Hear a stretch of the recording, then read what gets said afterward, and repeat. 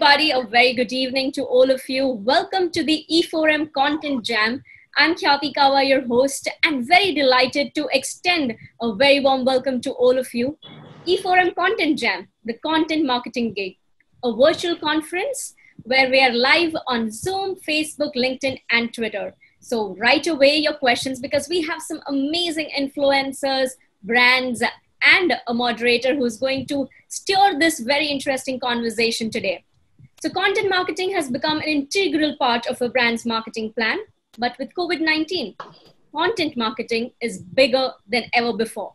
With mainstream marketing coming to a grinding halt, content, of course, continues to play a pivotal role in ensuring brand salience. Today, our panel is going to discuss on building brands via influencers, decoding that magic formula with have with us the moderator of this session, Mr. Pranay Swaroop. Pranay is a founder and CEO of Chtrbox.com, India's leading influencer marketing agency and technology platform. He was previously co-founder and COO of Let'sIntern.com from 2010 until its acquisition in 2016. Under his leadership, Let's Intern became the world's most visited internship platform and catered to over 4,50,000 students and 23,000 employers.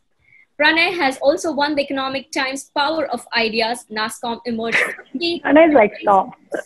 Internet.org Social Innovation Challenge, among other accolades. A very warm welcome to you, Pranay. Thanks. Thank you, Khyati.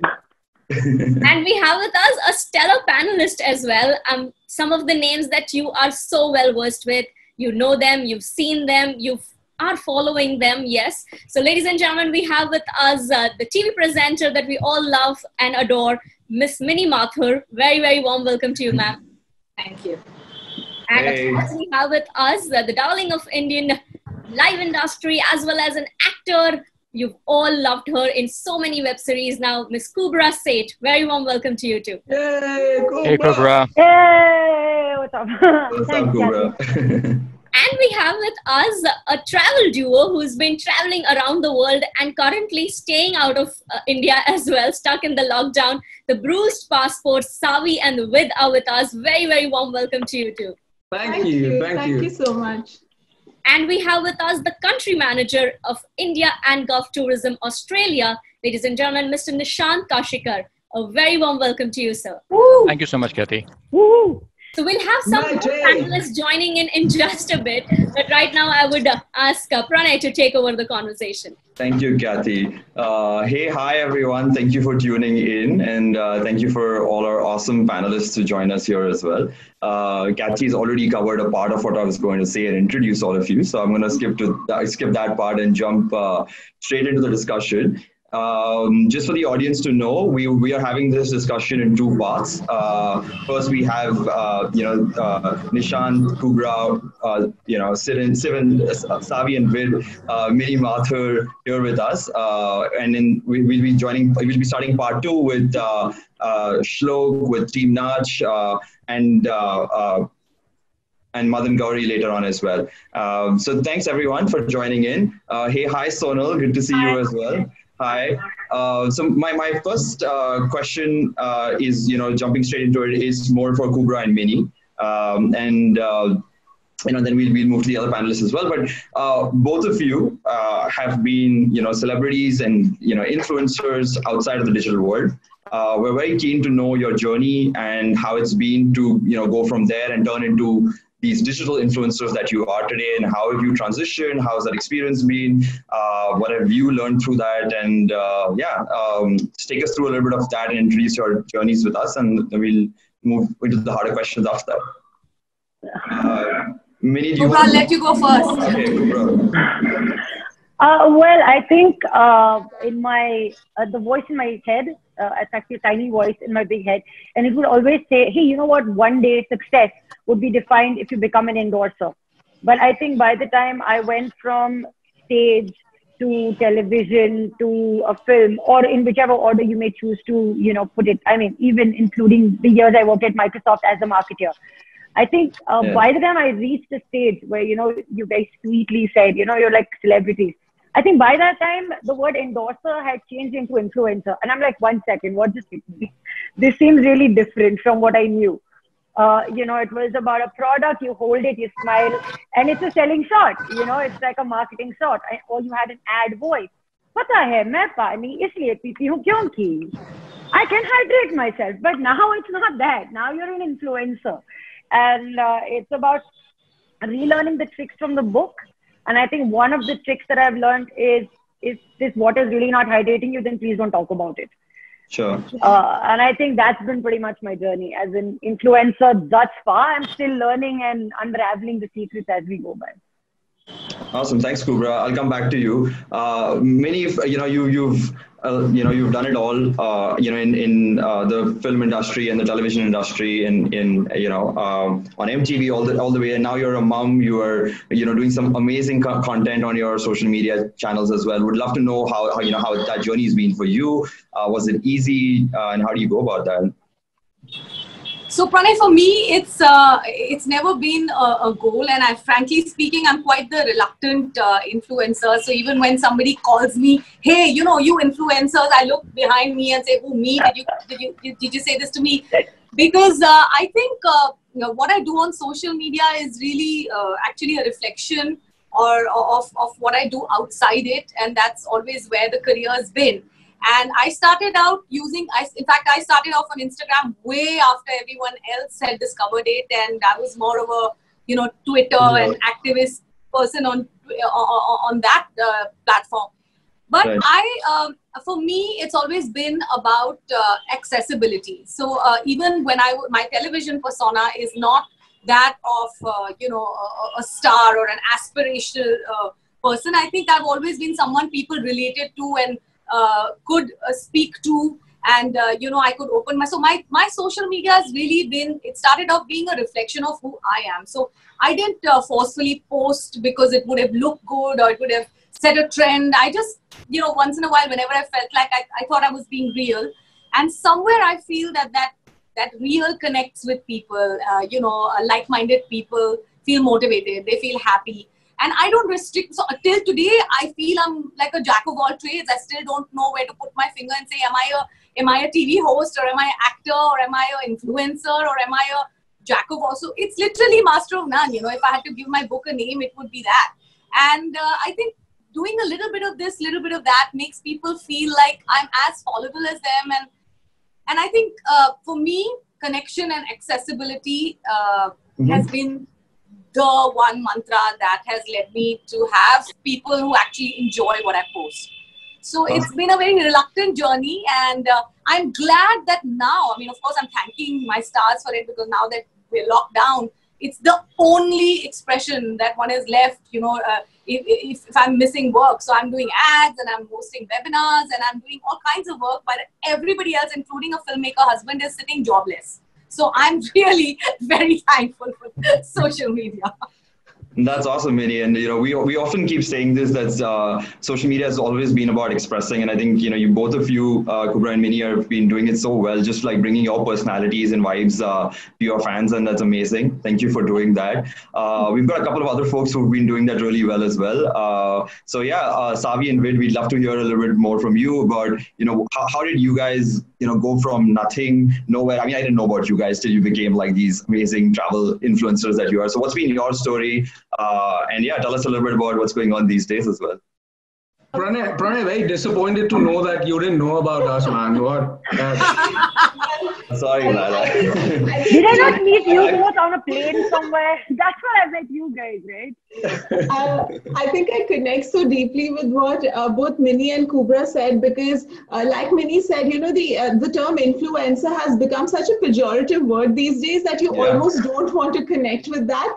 But uh, in a very strange sort of way, um, we actually started because uh, when we were traveling to all these really remote places, as Minnie said, we had no other human connect, you know. So we thought we are passionate about traveling. Why don't we post our stories?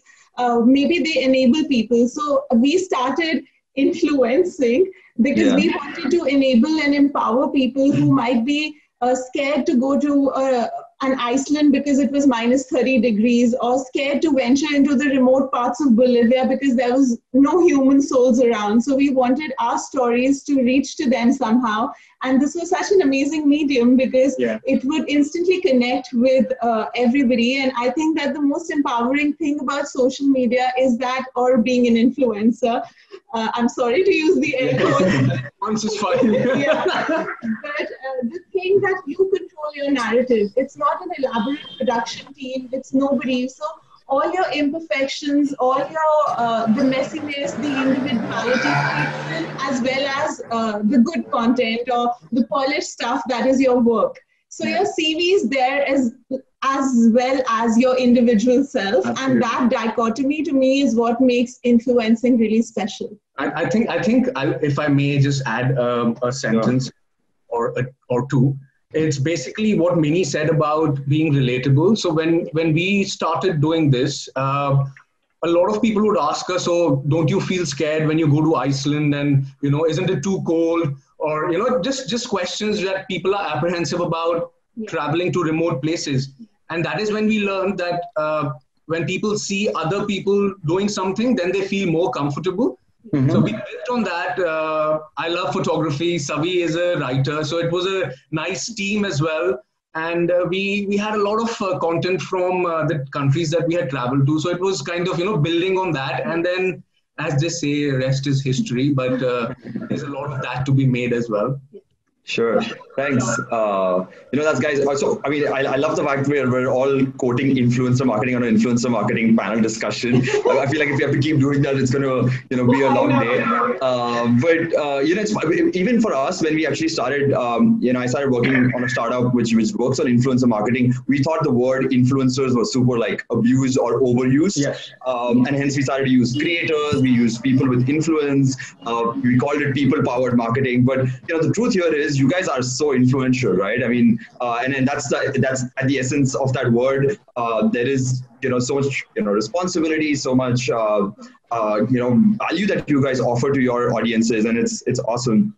Uh, you know, and, and brands have been able to tap into this, right? So we, while we've got a lot of people today listening in who are, uh, you know, young, emerging and aspiring influencers, we've also got a lot of marketeers who are really un- trying to understand what's this magic formula behind uh, putting these two pieces together.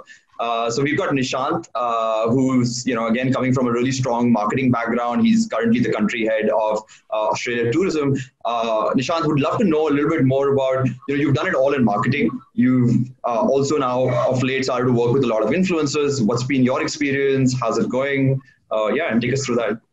Thanks so much, Pranay. So, I recently celebrated my uh, my decade-long association with Tourism Australia, and it's Wow. been a fantastic journey. And and uh, I've just explored maybe 50 or 60 percent of Australia. There's still a long way to go, and therefore I feel I've got a much long uh, longer journey ahead with Tourism Australia as well. But having said that, I've seen numbers from India to Australia literally quadruple over the last decade. And this has been primarily because of effective use, or not use, but working closely with influencers. You may want to call them advocates, you want to call them opinion leaders or ambassadors for that matter. But they've been, you know, a strong support or a foundation who have helped us to build the strong people to people links between India and Australia. Now. I would like to quote a pretty interesting statement made by Paul Hogan, uh, the Crocodile Dundee man, you know, a famous Australian actor and comedian. And he said that if you visit someone's place and you have a good time, it's because of the company and not because of the furniture you know?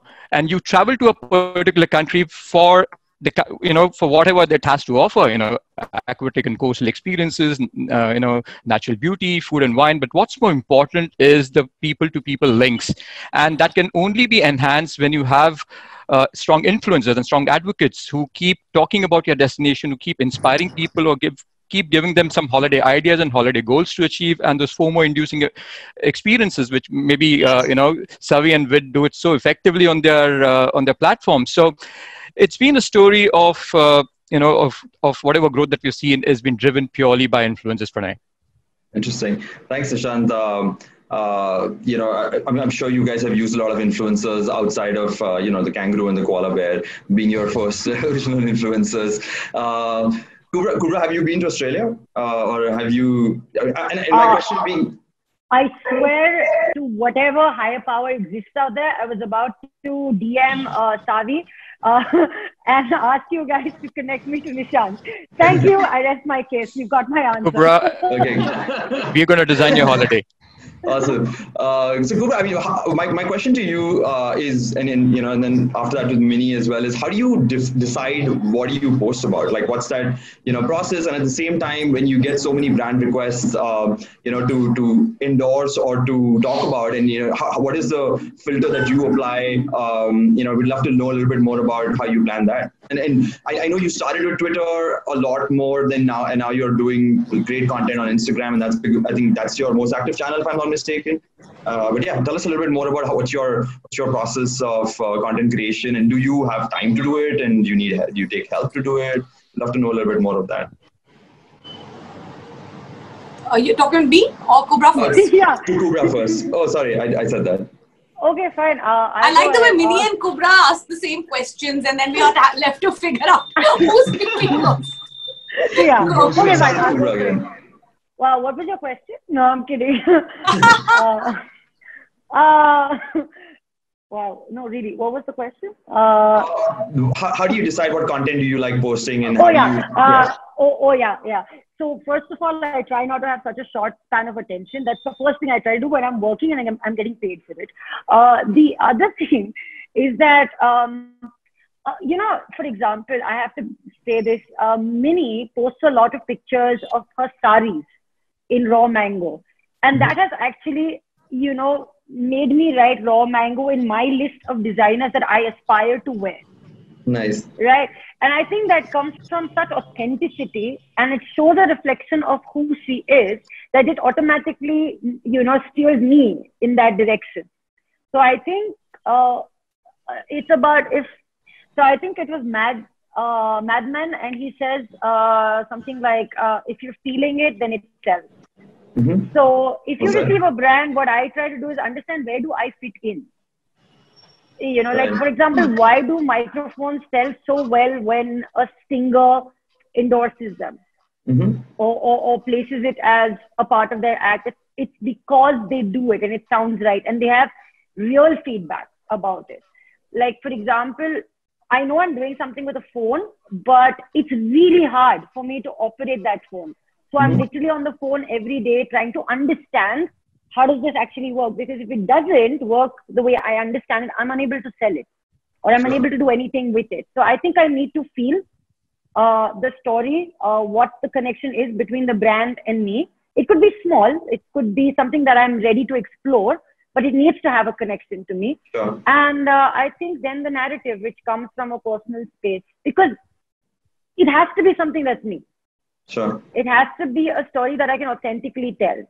If I can't say it with that kind of um, uh, the honesty and that kind of uh, you know belief, then it would be uh, I would be called out on it. And I don't think you want to be in that space where you're doing something just for the money and not ingenuity. Sometimes you can tell when it's money.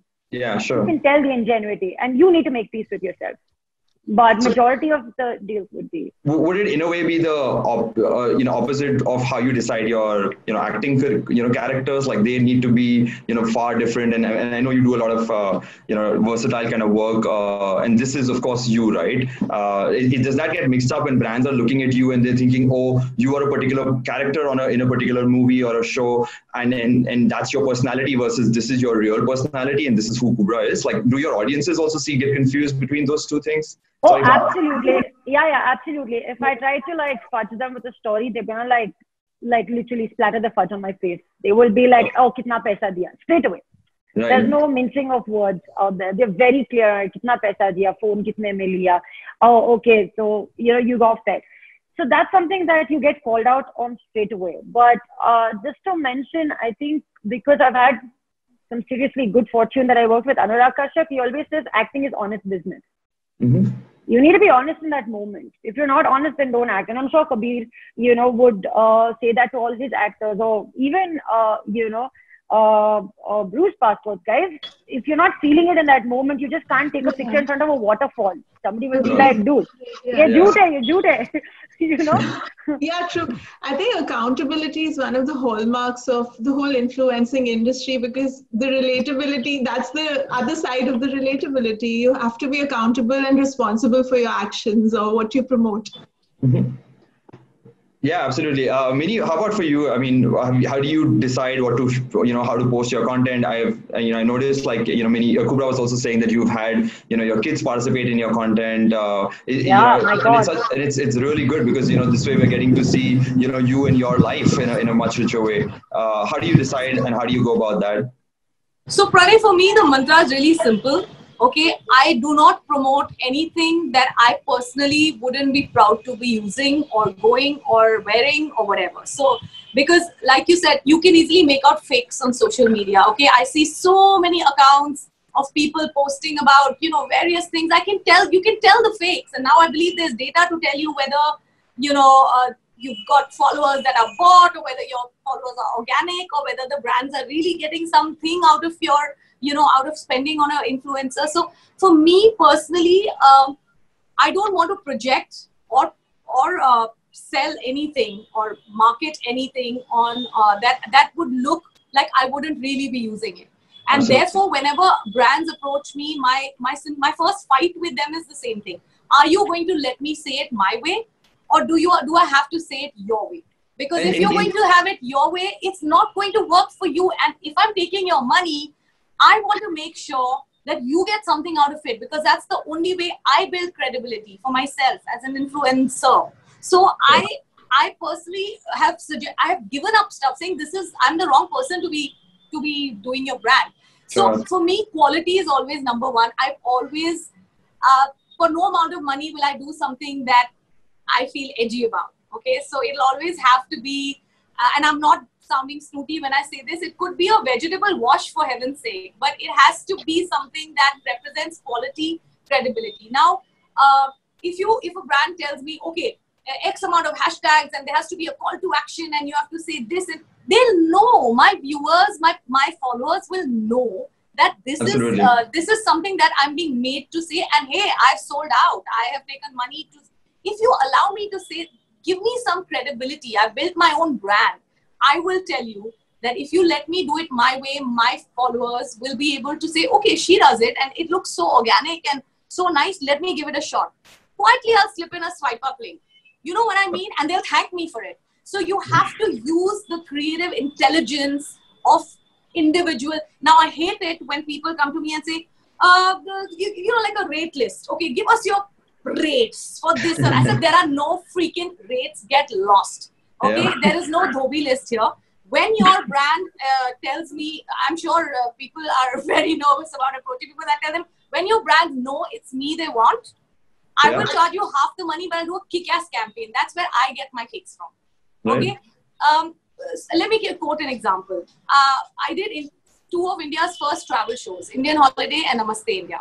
Everywhere we went, we were associated with a hotel or a chain, and we had to we had to necessarily promote them. And I went through years of trauma saying, this is not nice. Why am I saying this is so nice?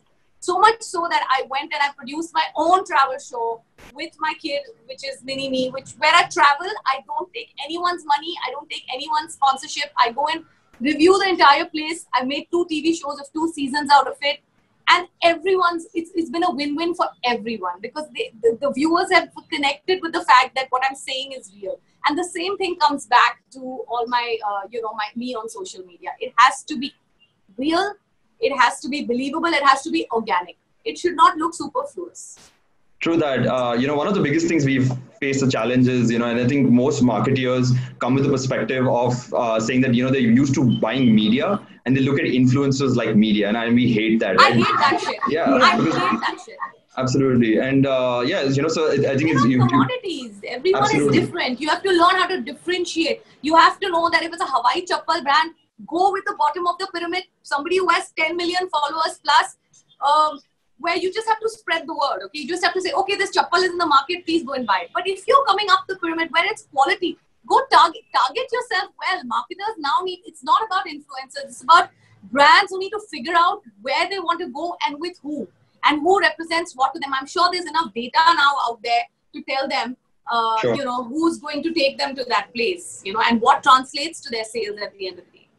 Cool. Thanks for sharing that. Uh, uh, you know, uh, Savi and Vid, what, what do you guys? How do you guys go about collaborating with brands? Uh, you know, if they, if you want to talk about some specific, you know, examples, that would be really interesting to hear as well. I, I think that the two things that are important is don't ever underestimate the intelligence of the audience, which is something a lot of campaigns, a lot of brands do. And Yeah. I find that really annoying. So that is the first thing.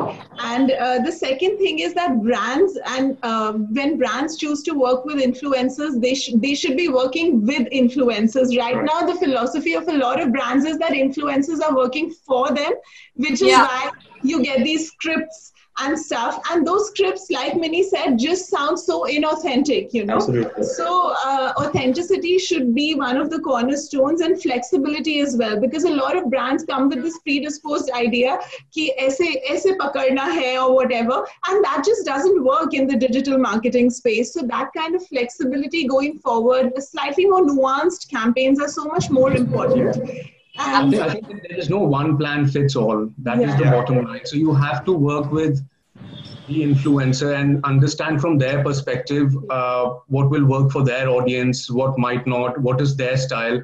So that's why it's not good to have those. I mean, those mass campaigns where you know uh, everyone is doing the the same thing. time yeah There, there has to be some Have you, have you guys started to see that change a little bit? Like, I, I at least in my experience, Slightly, three yes. years ago to what we are seeing in the last now one year, Absolutely. uh, and especially in these last few months, I think one of the most exciting things about I can even say that with lockdown has been that uh, you know the authenticity has even come out even in, in a more richer way, right? This Because you're mean, not going I- out I- to fancy places. So yeah, are you are you are you seeing that right now? Yeah, absolutely. And in fact, even when three years ago, when this whole thing was kind of picking up in India, you know, trying to leverage the power of uh, an influencer to market your brand, even then, uh, you know, pe- people were still learning. Brands were still learning. It was that, you know, okay, let's get 10 of these to do the same thing and maybe it will work. But we had started doing this right from back then that, we you know, had a no lot of fights about yeah, brands. we turned away a lot of brands because of that. Because at the end of the day, see, your audience is your god,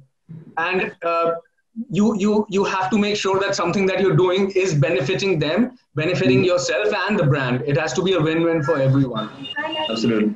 Example, um, Nishant, uh, these guys, I mean, all all influencers, we don't like brands, okay? And I don't know, I, I we keep playing That's this. not true, huh, I'm just kidding. That's not we were we were about to say, I was just teaching you some stuff, you know. I was just, I was just Pranay, kidding. we- we You're talking actually of authentic experiences with real people telling, talking about their real stories and real experiences. That's what matters. Absolutely. No, so, no, but I'm saying that, you know, there are always Pranay, these. Sorry. If, Yeah, if, I, if. I may interject, in fact, I think Savi was just going to take an example of uh, a campaign that we did last year with uh, Yeah. Tourism Queensland. You know, uh, by far it has been one of our most favorite campaigns, not because we got to travel, but also because they worked with us. Yeah. They were flexible that they, you know, they understood what kind of experiences we like to portray to our audiences. And we worked together to make a nice itinerary. And the results of that were for everyone to see. Uh, Sure. The readers loved it. The, the brands that were linked in uh, with, with this campaign loved it. And we obviously loved it because we, we love Australia. And you know, I think, I think Pranay, it's campaigns- high brands did some homework. They need to do some homework before they approach influencers. This is what true. works for them? Just spend two hours on somebody's page and figure Yeah. out what is the Um, tone that they use. Absolutely. I think what Nishant is just going to say sorry and leave. Yeah, Yeah, I'm, I'm telling you, I'm telling you, someone has really pissed Minnie off in the last few weeks. I'm No, no, I telling you just that. look belligerent. I'm All the wrong brands have gone to her. Yeah, you Nishant is just looking at you like, Yeah, okay, Nishant, I'm but- gonna just say sorry and leave. Uh, all right. So let me talk about our journey at Tourism Australia. And as I said earlier, it's been And advocacy has been a solid great, foundation. Great campaign, Nishant, if I may say so. Thank you I so much, mean- Minnie, for that. Brilliant. Uh, okay, so in 2010, when we when I joined Tourism Australia, there was a campaign called "There's Nothing Like Australia," and there were like 30,000 citizens of Australia who gave people reasons to come to Australia. So there were 30,000 reasons given by the citizens of Australia. And the people of Australia were actually the advocates or influencers inviting the world to come and visit their place. In, in 2014, we launched a wonderful campaign called Restaurant Australia. It was all about positioning Australia as a culinary capital of the world. We've all yeah. been followers of MasterChef Australia and the work that Matt, Gary, and George have done in the Indian kitchens these days. So they were instrumental in, uh, in you know, reinforcing that image of Australia as a great culinary destination. During that year, we appointed Sanjeev Kapoor as a friend of Australia. And Sanjeev, as you all know, is like the final word or an expert in this in this business. And uh, Sanjeev did a phenomenal uh, you know, job for us. He helped us raise the profile of Australia as a great uh, destination food and drinks. We collaborated with almost 15 top food and wine influencers from the country, right from Rashmi Uday Singh to Vir Sanghvi to Kunal Kapoor, Ranveer Brar, Rocky and Mayur, uh, you know, Marryam Reshi, you name it, and the influencer got a chance to visit Australia and experience the food and wine culture. It was an amalgamation of people place and produce. It was not just about dining in a fantastic uh, restaurant, but it was dining against a fantastic backdrop you know, uh, it was having a breakfast with the kangaroos or a champagne breakfast after a great hot air balloon experience or a private island picnic in the Great Barrier Reef or dining against the spectacular backdrop of the Sydney Opera House. So it was all experiential led and we effectively worked with influencers to showcase, you know, the best of Australian food and wine experiences. And as a result of that, when we launched the campaign, India, Indians rated Australia to become to be the seventh biggest destination for food and wine. Today, all the high value travelers in India rate Australia as the number one destination for food and wine. And that that has happened over a period of five to six years ever since we launched this campaign cricket in Australia, I guess there's a common passion between these two countries, you know. And in in 2015, when Australia hosted the ICC T20 World Cup, not the T20, but the 50 over World Cup, we worked with Harsha Bhogle, and Harsha is again, you know, the voice of uh, voice of uh, Indian cricket. He has achieved that epitome of success. So in terms of attracting the right audiences, he was like a perfect ambassador for us. He was a great advocate for us, and he created some great content for us on not just on the social media platform, but also we worked with Star Sports, created some amazing uh, content, uh, you know, which was titled Postcards from Australia. We did some pre-match, post-match telecast uh, at some wonderful attractions, and that year saw um, some amazing results. We grew by almost 20% in arrivals and 40% in terms of spend. And most recently, when we uh, when Australia hosted the ICC T20 Women's World Cup, we worked with Mithali Raj, the captain of the uh, Indian uh, cricket team, the ODI and the Test cricket team, and she was there to raise the profile of women's sports, not just in India but globally. And we achieved record attendance for the game. And uh, you know, ICC was extremely delighted with the kind of outcome that they got at the MCG on the 8th of March. You know, uh, which was the International Women's Day.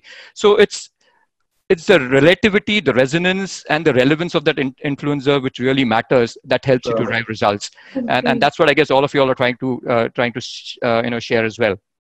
Yeah, so, absolutely. Yep.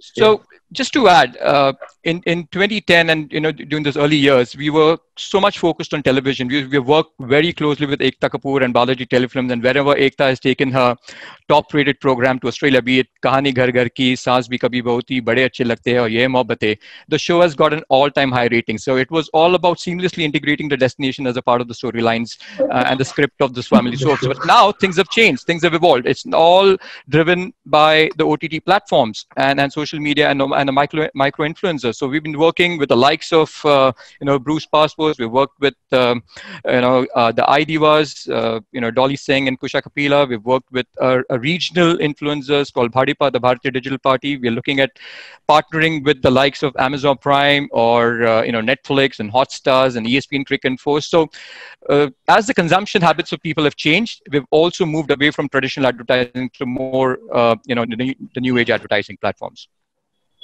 Awesome, man, Nishant. So so good to know that you guys have been doing so much work with influencers and uh, you know such right influencers as well for your category. Um, but you ain't hit the high note till you get Kubra Sait and Mini on it. We have yeah. a long way to go. We have a long, long way to go. So there's plenty of opportunities in the future, for Just sure. Have to say it, Kubra. this is yeah, the entire objective of this panel discussion to put you guys all together. Just to add to See, what this is called seamless integration. This is what I'm talking totally, about. Totally, totally. Shameless. Organic integration ho gaya na? Pranay, just to add yeah. to what uh, this particular conversation, as Ishant was saying, it's so amazing it, the ways in which ROI manifests itself if the brand works correctly with influencers you know uh, really strange ways that we have seen in our over the past few years is that uh, if the right influencer mentions a wine, as it were, on their social media or, or a vineyard perhaps, that vineyard gets sold out as in the admissions are Absolutely. completely. I remember this one time when we posted the room number of our villa in Seychelles, and we had gone there for a, a thing with the Seychelles Tourism Board. That hotel actually mailed us and said, "Could you please take the room, room number, number off your website because everybody, all the villas are the same, but everybody's asking for that particular villa, you know." So if harnessed correctly, digital has such great impact, but that's the important thing, harnessing it correctly in a positive and fruitful kind of way. Absolutely. I mean, this Zoom call could only handle a certain number of people, and then we crossed that, and we had to figure out, uh, you know, another extension of this because everybody, you know, all of you guys spoke about it. Uh, so thanks for that. Uh, uh, Kubra, I mean, you know, so I while you know brands have their own, you know, limitations in the way they understand influencers and what they want, and I think they're coming from that perspective where, like I said, like you know, they see them as media, they see them, you know, my logo needs to be a little bit bigger. Um, the, the questions that they are asking, right, they're very fair questions, right, because they have to figure out how do their budgets move around and how do they drive ROI, right? and I think, and I don't mean to make this divide, but I've seen that a lot of influencers versus celebrities, if I may say so. Sorry, don't mind me saying that, but influencers started to get this right because uh, they've started to understand that they have to drive ROI in order to for it to be their business. Celebrities are so up on that pyramid, and, and rightly so. They are not questioning that today, right? And they're not. They don't feel like they're responsible towards that. Do you feel uh, is that something that you know you feel responsible towards again i'm sorry i'm asking the wrong question here but uh, do you do you feel like you know uh, if, if your social media is being used by another brand do you are you responsible to deliver something or is it the other way around uh, I think I can definitely speak for myself when I say this. I was recently associated with Olay, for example, right? And I remember they said we're going to do a digital cover Mm-hmm. And uh, they said it's going to be without any makeup. And they had four of us, all four influencers. So I right. think there was the biker girl, there was Priyanka. Priyanka, the biker girl, then there's one more person, and then there was Masaba, Masaba. and myself. And when I put out the picture from the photo shoot, I got so much flack for like no reason. They're like, oh, ye to touch up hai, ye hai, wo hai, falana. And I actually stood up. It's not my business sure. uh, to you know turn around and my, my, job is done technically you know i've put out the post and it's done right but i actually went on every comment and i said i'm sorry you can't turn around and tell me that this picture is touched because it isn't this wasn't yeah i was right there this is my face and i'm not lying so i'm not going to tolerate you guys you know i mean of course you're hurting the reputation of a brand but you're also hurting my reputation saying i am you know someone who's letting something pass hmm. and I'm not okay with that. So if you do want your comments, please take it somewhere else. Take it to the brand if you don't believe it, but not leave it in my on my wall in my space.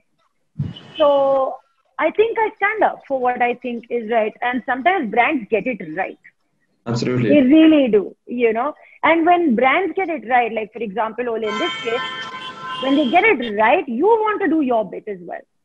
It's, sure. You know, and that's not an ask. It's not a you know, it's not for like, oh, let's, it's taken for granted. They do their job so sincerely that you want to go back and give it back to them as well. Absolutely. It's not necessary that they're all, like all brands across the board will be, you know, that, uh, won't give you that kind of support. Sure. But I think when a brand does it, it's actually nice. Awesome. And you also want to give back to the brand. No, I absolutely, I couldn't agree more, Pranay. Uh, and honestly for me maybe it's my advertising and management background pre uh, media days that uh, that makes me very competitive and completely on the side of the brand when i'm doing this so i take it as a personal contest when a brand has chosen me so i need to basically feel that you did your research and you got me and now i'm on your side and now let's work as a team case in point being a brand that i uh, endorse called dyson uh, mm-hmm. very high end uh, home brand and i truly I truly love. So if I go beyond the brief, okay, yeah. uh, every time I, I, I put in stuff that I've not been asked to do, and so much so that I personally have become sort of a. I keep ca- calling them and saying, "You have to give me a sales cut because the amount of machines I have personally counseled people into selling through DM and through WhatsApp and through phone calls because they just look at me as a representative of the entire brand. So which model should I get? And so I get into the you know the the vein of the whole brand and i love that i love that sense of competition of when it's really worked for the brand and it's worked for me i love that high Absolutely. We're seeing, you know, and this this is why I was asking like three years ago, it was a little bit more transactional and now it's becoming a lot more relationships with influencers, Yes, more long-term, uh, you know, partnerships as well, because that's, that's where, uh, you know, the influencer falls in love with the brand and the products and understands like the ethos, the discovery we did a discovery campaign together and With- exactly yeah. the same same situation Yeah, annual planet. Yeah, that's true. Uh, Savi and Wade, I mean, you want to talk about some of the you know new formats maybe that you guys are exploring? Uh, there's just so much always going on in social media, and you know, and, and I'd love to know a little bit more about these last few months. I know it's been crazy for everyone. I, I didn't want to go into that topic immediately, but uh, you know, I would love to know how, how you know you're seeing things in the travel industry right now, and uh, um, yeah, I'm just gonna also add here the only uh, influencer content that I've tried to shoot, my wife and I, was was the the beard one that you guys had done. Oh. We did half of it, and then we then we kind of stopped, uh, you know, from going That's ahead. amazing. I would have completed it and at least send it to you guys for it. Uh, but yeah, so you're doing new formats and all, all of that as well now. So I'd love to you know know a little bit about how that's going and uh, how things are in London for you guys right now. Oh, uh, at the beginning, it was quite claustrophobic because uh, it kind of rained on our plans. But I think, as you mentioned, uh, the shift uh, over the past three months has been towards more meaningful content. Of course, the tourism industry is at a standstill for now, but everybody is already envisaging the future. And I think uh, the overarching need is to go beyond platitudes, you know, because I think the COVID situation has told all of us something we already knew that tourism needs to be more meaningful, it needs to be more sustainable. We need to look at long term alternatives. So I think, in general, a lot of hotels and tourism boards are looking at um, you know, a Bhutan as an example of sustainable, long-term, good, healthy tourism. But in terms of our content, we've been having so, So much, much fun, fun, in yeah. quarantine. I can't even tell you. We're quite used to spending time Yeah, together, yeah. so I mean, I think hasn't been it's about that because when this started uh, in the first month, we got so many messages from uh, couples in particular. Uh, one of them saying that my, my spouse is driving me mad. How do you guys deal with spending all the time with each other? You know, how are you killing each other? So that's what we were trying to say that, you know, for us, we've been doing this for almost seven years now. We've pretty much spent uh, every waking second together. So that comes naturally. And uh, we've just been improvising with our content, making some uh, at home content, and then obviously uh, rehashing some travel uh, content because people still want to uh, dream and aspire to travel someday. And I think I think that's Yeah. going to happen. I think the primal need in humans is to make new connections, is to is to uh, travel, see new places. So I think everybody is really craving that escape right now. So we've Sure. been able to tread that fine line by making little series like cook with us at home, things that we've learned on our travels. Or uh, travel virtually with us and things so that people can still get that escape, but Yeah. also get a little look into what we're doing on a daily basis, which we usually put on, say, YouTube or stories, has now gone to the Instagram feed too. Thanks. Guru, Wait, I have a question for Siren, uh, uh, uh, Savi and, Savi and Ved. Uh, Savi and Ved, I just mixed your names up because you guys were like such. Perfectly logical. Sounds great. yeah, but if if we were to mix, if we were to uh, mix our names, I think the actual ideal would be Visa. It'll, it'll okay. Be okay. Visa. Oh, uh, that's more perfect than Savage, which sounds, you know, synonymous to COVID yeah, No, exactly. but my question was, so you're telling me never, ever, like in the last seven years and the years that you've known each other, it's never happened that one of you has said, baby, आज dinner पे क्या खाना है? And the other person said, कुछ भी. It has never happened. It happens. It happens. all the in time. fact, in fact, that is what happens, you know, because because we we live we live as Usually. friends as well. No, no, really. I mean, you know, we it's, fight a lot. I'm not saying we don't fight, but it's just that we now know how to get over that because we've known Yeah. each other for so long. Yeah.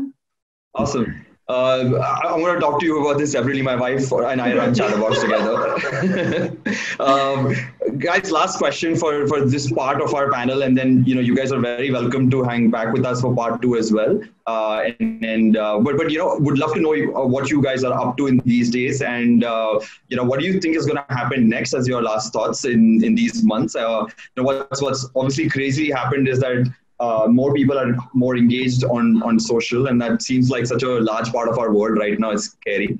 Uh, but we'd love to know a little bit more about you know if uh, if you guys are you know working on OTT platforms, are you working on uh, you know your own digital content? Uh, yeah, and uh, and yeah, so just your last thoughts on this entire topic, and we'll chat more on this. Nish, go first. Who wants to go first? Nish, Yeah. Nish goes first. Nishant, go for it. Nishan goes first. All right. So um, we we believe that you know the entire uh, situation at this point of time has been due to travel. And while travel was the first thing to stop, it's going to be the last thing to come back to normal as well. So our job at this point of time is to inspire uh, our, our target audiences to think about Australia as soon as the borders open. So we're doing a lot of uh, stuff in the in the dreaming phase, giving people some ideas, uh, holiday ideas, um, working on various platforms like uh, you know Facebook, Twitter, Instagram, and and YouTube. Uh, we recently launched a campaign called "With Love from Australia" and giving people some some holiday ideas to, to travel as soon as the uh, you know situation comes back to normalcy because i believe i'm an eternal optimist and i believe that uh, as soon as uh, the borders open or, or if we find a vaccine or there's some cure for this particular pandemic uh, we're going to get into this revenge travel. People are going to travel like like mad you know and we are just at the tipping point as a country where everyone wants wants to travel. Uh, we are a young young country and pre in the pre-covid scenario we were the fastest growing economy in the world. We're the fastest growing outbound travel in the market uh, outbound travel market in the world with the fastest growing middle class. So and as we speak just 0.2% of india actually goes on an international holiday. So potential is immense. And to to drive that aspiration and to take that first step uh, or, or give some holiday goals for, for individuals, influencers are going to play a significant role. And that's what we're doing at this point of time as well, giving people ho- holiday ideas so that um, they can travel to Australia. And we're preparing ourselves as soon as the borders open, when we are into that rising optimism of freedom of movement.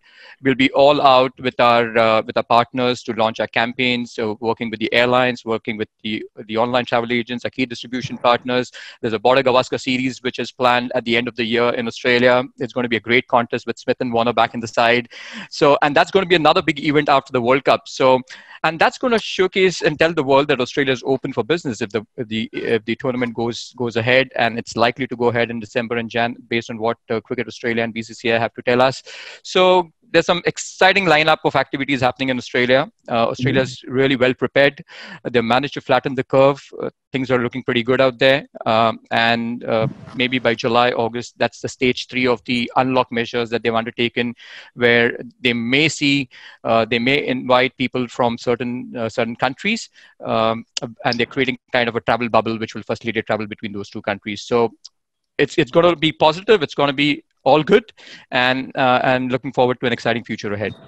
Awesome. Thanks, Yay. Nishant, and thanks for joining us today. And, Thank uh, you so yeah. much. My God. Thank you, thank you so much, guys. Pleasure. Yeah. Uh, who wants to go next? Uh, And, Mini, uh, Mini, Mini goes next. Mini goes next. Okay. So, um, so for me, uh, when lockdown started, I was poised to be hosting a quiz show. I was doing season two of something else that I act in on, on Amazon. I had lots of live gigs. March was supposed to be like a busy month, and then it all got locked down, and we found ourselves figuring out who's going to do the jharu pocha and who's going to take over the laundry. So I thought I made lemonade when life gave me lemons, and uh, we converted, you know, everything turned over to social media, which I still get. I must add, I get very stressed out every time I feel I have to post something. Okay, I just cannot do it because I have to do something. But I think what we've done is we've done a lot of reflection. We've connected with the kids uh, during the lockdown really well. Uh, having everyone at home uh, has been a real boon. It's been a real discovery. So um, we've cataloged a lot of that also for ourselves. You know, journaled and written. Uh, a script has been written out of this house. Uh, a conference is being planned out of this house. So there's like we're running the show basically right now. so I'm really positive about what this effect is going to have on people personally. I'm uh, personally getting a bit tired of scrolling left, right, you know up and down. I think it, it it saps a lot of your energy if you are on it the whole day. And uh, you know, I think you can't be doing what the Joneses are doing. This is a time to introspect and reflect, and we try to do that. But hopefully, once it all opens up, we're back to business. I have a show to sell and uh, one other one to make. Nice, thanks. Uh, wise words from Maximum Mini, like Nishan said it earlier. uh, Why do we have Kubra, Madan Gowri here? Madan Gowri. Yeah, we is do. like- What's up, Madan? Hi. Hi, Madan Hi, Gowri. hi. What's up? How did you end up Hi. here? it's very awesome. No. and it's weird. Okay, we've ignored him. Like he has not paid attention to. Yeah, we're, we're gonna we're gonna. I I think Kathy's gonna come in and introduce the second part of the panel again. Uh, but uh, Kubra, if you are, are you, do you have any thoughts or uh, on how? Uh, no, uh, go, go, go, uh, Savi and Wade, go. I, I mean, we, we already talked about what we have been doing. Uh, obviously, a lot of our trips were cancelled um, uh, during this lockdown. So uh, work took um, a significant hit. Yeah. But then we also talk about lifestyle and stuff. So, you know, uh, Yeah, on it's that gonna end, open it's up more always- doors. It comes to when it comes to travel, I think in the near future it will be more uh, slow and domestic. Yeah. But as Nishan said that you know uh, once it's safe to travel internationally as well, I think people are going to go all out, uh, and that's the phase we are looking forward to because we'll be the guinea pigs to give people that confidence that you know it's okay It's to, to document that journey that okay uh, airlines are taking precautions, hotels are taking precautions, it's safe to travel. So we look forward to that. But in the, in the meantime, I think uh, it's very important to just keep uh, your sanity and your mental health, We've actually gotten the chance to work on projects that we've had on our minds for a while. So like all, personal projects. all uh, this time has given us a lot of uh, uh, time for introspection and diversification as well. So we've been keeping ourselves busy, but looking forward to the future. Thank you. Uh, Thank. Yeah, I think uh, uh, the three wise uh, blocks on the screen have said everything that I possibly wanted to say. Yes, this year started off as the most optimistic year ever. It Yeah. was like, this is your year. And then it was nobody's year all of a sudden. like, everybody was just like, what just hit me? So I think, uh, you know, I think I've traveled to nook- nooks and corners of my house. I've actually used this apartment to its fullest now in the last four months, but I, and I haven't in the last 10 years of being in this city. So I'm extremely grateful for this time, uh, allowing me to know what's where and how I could, like, you know, pull up some magical trick from my hat and have a new uh, backdrop for all I care. Uh, and it's been wonderful. Uh, but what I've also seen uh, is that brands are now coming home because we're at the phase of unlock 1.0. And uh, brands are willing to come home. Yeah. and like uh, you know like minimum number of people uh, a quick shoot. So we can still you know have your thoughts have your minds and yet have like a acceptable video on board. So i'm quite happy uh, with the way things are. I mean innovation is not happening only from our end but also on the end of brands and i think as nishant very rightly said and i think as mini and uh, you know uh, savi and Vid agree uh, uh, Visa. Visa. yeah, just It's okay. It's G okay. I, I get I get Sid, Vid, Wade all the time. It doesn't matter, you know. Yeah, We are Bruce and I just followed you. Uh, no, I mean all of that being said, I, I think what all of us agree is that we can't do this alone. We need to do this with a good partnership and a relationship. You know, where mm-hmm. everyone wins and everyone feels like they're getting a better deal. And mm-hmm. when that is happening, I think automatically content creation will be at its best. And we will also justify what we are getting paid for with or without a rate card, if, if I can sum it up that. Thanks, Kubra. That's great. Uh, okay. Uh, are you guys hanging back with us for a while or you got busy schedules? Uh, please do if you can. And, I was uh, going to make coffee. But we can we can we can switch off our video, right? Yeah, yeah. Yeah, we absolutely. switch off our Audio video and Be there. stay here. Okay, but it's so nice speaking to all sure- of you. I'm sure Take care and stay Kubra safe. can't wait to switch off the video. Thank you. Thank you so much, Pranay, Bye. Kubra, It's a Mini. pleasure. See you, Yeah. Bruce Bye. Passports. Thank you, I just followed you on Instagram, so I'm going to enjoy everything that everywhere you travel, I'm on it. Thank you. Thank you. you so You know, we, we were we are also dip sites, uh, Mini. Ex Hey, high five. Dude, this party is still going on. I'm not leaving. Okay. I'm not leaving. We're going to get a coffee and get back. Yes. Yeah, I'm getting a copy. Okay, come back, come back. Lovely speaking with you all. Thank you so much. Thank you. And you know, this is what I think I can sum it up as that if uh, influencers, brands, agencies come together as a family and work together, it is like a party. We can see that right here. so I'm just gonna quickly introduce you guys to our next panelists. Some of our panelists from the previous session will stay with us. So we have with us Team Naach, uh, Sonal and Nicole. Sonal and Nicole are here. And uh, we also have Madan Gowri, who's a YouTuber, a youth icon. We also have with us Shlok Srivastava, uh, tech wala banda jo jokes bhi marta hai is what his Instagram handle description says. But uh, very warm welcome to all of you. Thanks, thanks, Kathy. Hey, Uh, yes, once again.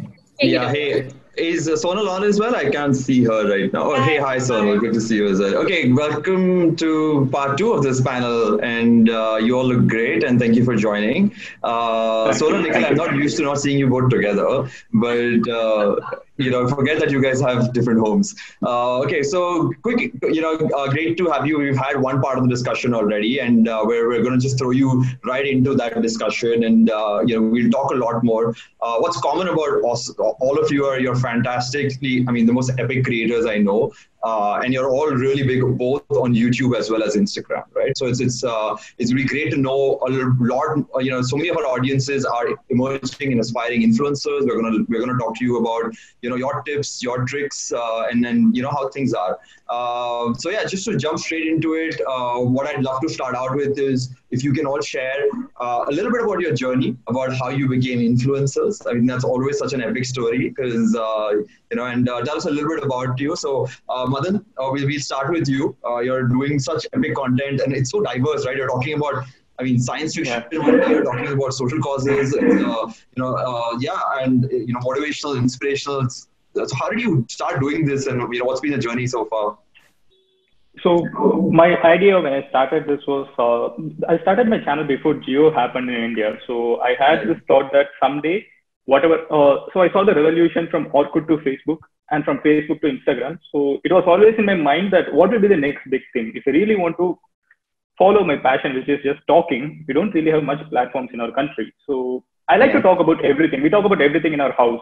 We don't just talk about tech. We don't just talk about beauty. We don't just talk about no cooking we talk about everything so i wanted to create a platform where everyone can talk about everything so i wanted to create uh, something like that and uh, i kind of predicted that youtube will be the next big thing so i Right. predicted that video is going to be the next big thing because we came from uh, the putting up status to putting up photos so the next thing is obviously videos so i predicted that but what I thought was it would happen by 2020, but then Jio came and it happened like four years in advance. So yeah, in the process, uh, it clicked for me.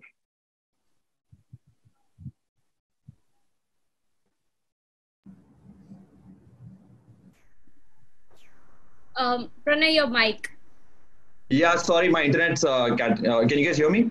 Still good? Yep. Yes. Okay, awesome. So, Madan, sorry, I, I, I missed a little bit of that in the end, but thanks for sharing that. Uh, uh, I'll come back to you and ask you a bunch of questions. Uh, Yeah. uh, you know, uh, Nicole uh, and Sonal, we'll, we'll move to you both. Uh, and, and all of you, this is a question that I, I mean, you guys are all on like these 3 million plus like subscribers and like 500,000 on like, it's, how does this happen? How, I mean, where does it start? I mean, where, do you think this could happen when you start out? And how do you like? What's been the journey? Just take us through a little on that. It's, it's you know, it's so cool. It is very cool, uh, Pranay, because neither Sonal nor I had the intention of ever, you know, becoming influencers. That was never a thing, right? I mean, for us, uh, we started off as dance teachers, which we currently are as well. But uh, we used YouTube as a platform to just kind of market our classes. That's where it all began. And then we slowly realized that people are consuming dance content. They want to learn off the internet like Madan said, like, you know, video is the next big thing. And it slowly kind of, you know, we realize we have to create specific kind of dance content and put out there so that people will consume more. And that's exactly what happened to us. We grew, uh, we started off, our growth started on YouTube and then trickled and, you know, it slowly is now Instagram is also growing along with it. So that's been our, you know, long story short. Thanks for sharing that, Nicole. Uh, Sonal, do you want to add something to that, or I'll come back to you? Uh, it, it's the same thing only. Like we started YouTube honestly um, because we wanted students in our class, and we wanted someone to watch our videos and uh, come to class watching those videos. And luckily, it worked.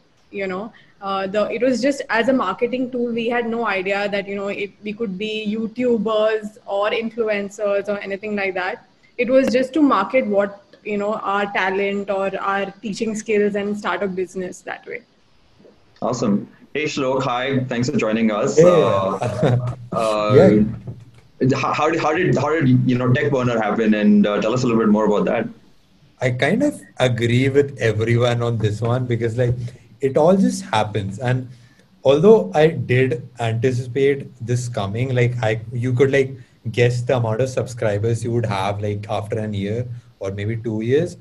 But like you don't know how it feels like yeah. to have like so many people following you. And the impact is a lot more than uh, like normal people would be able to imagine. But yeah it's uh, i started off just like normal people. I just try to uh, show something cool that i did on my phone to like five or six of my friends and upload it onto youtube. Wow. But like after that you just get like addicted to it. You just keep doing it and keep doing it. And you just fall in love with creating content in general. And as when you do that you can't get out of it. It's something that takes you in and you start creating for instagram for facebook for all these social media platforms. And the next thing you know you're like everybody knows you you go out of the house and people already know you so mm-hmm. it's kind of nice um, and it's it's very overwhelming as well sometimes. Yeah. You can only imagine, man. That's amazing. Uh, you know, so Madan, uh, are, you guys shooting content these days? I see, uh, Shlok, you've got what looks like some sort of a video setup behind you. Uh, how's how's lockdown been, guys? Let's start with that. and uh, how, how you know, Madan, do you want to tell us a little bit about are you shooting content these days? How do you have you has, has the last three months been challenging? Uh, you know. Okay, I shoot uh, one video every day. I upload one video every day, so that's my format. So, nice. uh, so in, in so before uh, you think that it's really a tough job, I don't make much of editing in my videos.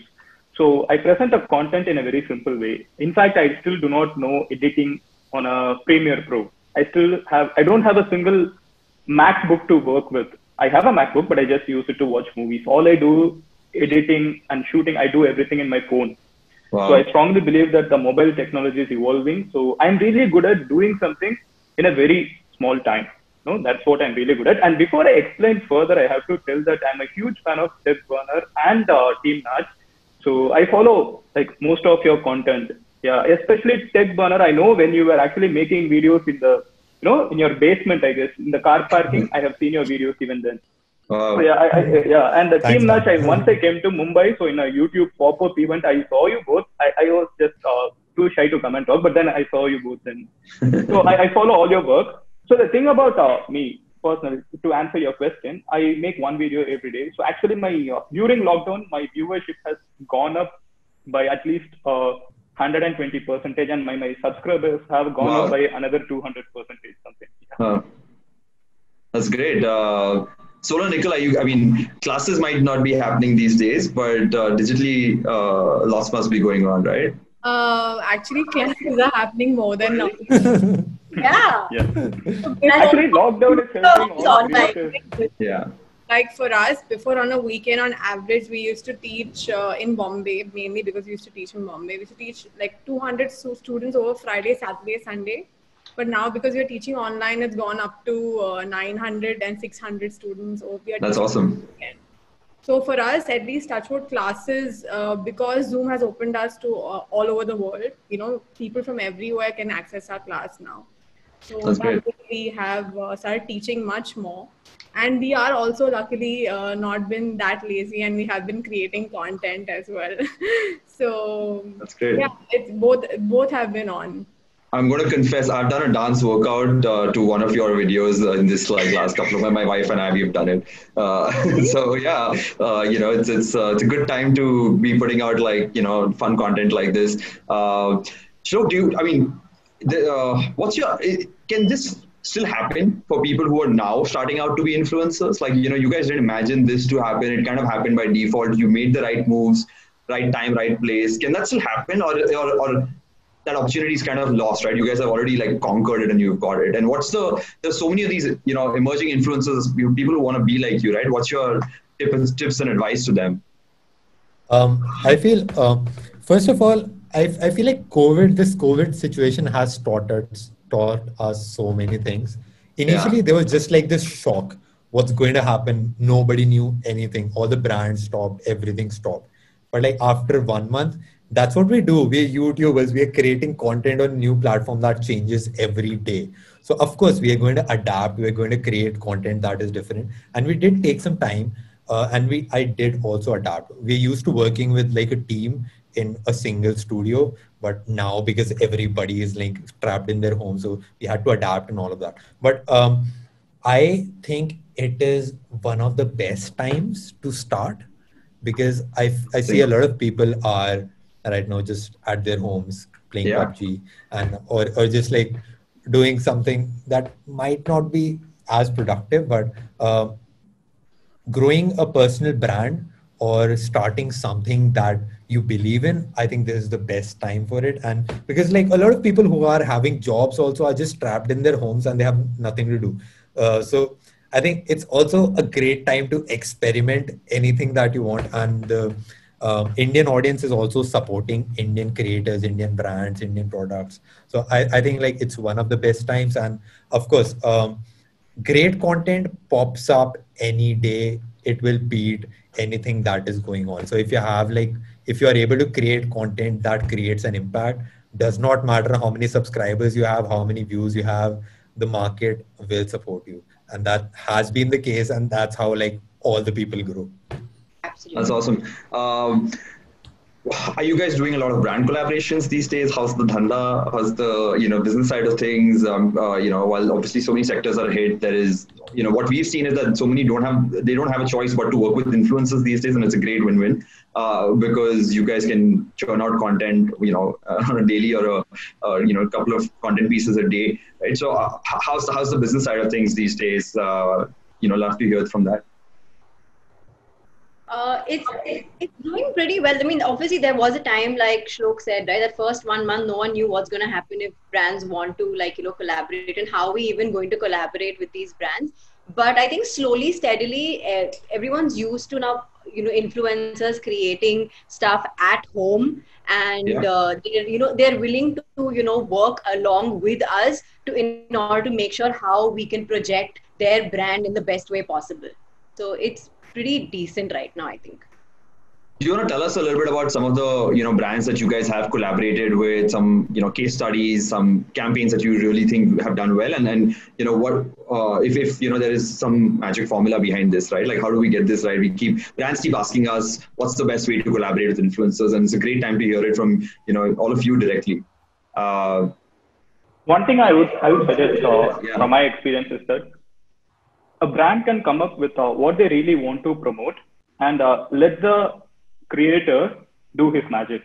You yeah. know, what happens is brands come with a set of script and ask the creator to repeat the same script and it does not work. You know, it might look good on paper because the word is repeated multiple times or say by on, but a creator knows their audience best. Maybe there are certain creators to whom that might work, but the larger you grow, the more influence you have, it's really tough to you know just put out anything blatantly on people. So I think brands can come up and with what they really want to convey to the audience, and the creators can work along with them rather than just broadcasting it. And that would be a great step to you know have collaborations that can be enjoyed by audience too. You know.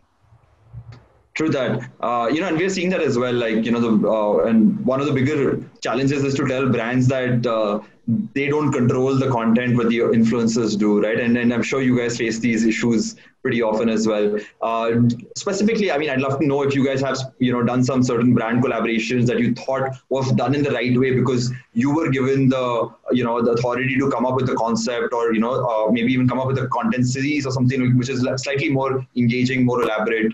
Uh, any thoughts on that? Anyone, uh, Shlok. Yeah, um, I, I think like just like Madan said, I completely agree with him. It's like a collaborative effort between three things, uh, like three entities. It's like the brands and the influencer and the audience. If all of these three align together, only then the content works. So mm-hmm. right now the audience is changing, the influencer changes very quickly.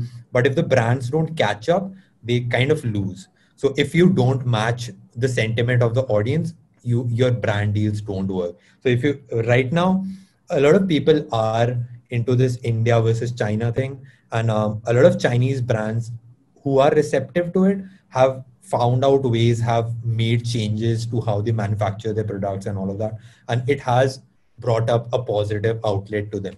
And uh, a lot of brands like Samsung, I've worked with Samsung, uh, who have started manufacturing in India Uh, a lot of people don't know the biggest mobile manufacturing, like the chip level, is in India and it's owned by Samsung. Um, a lot of other brands, like educational brands, Upgrad, uh, they provide education online. They provide courses and all of that. We have worked with them.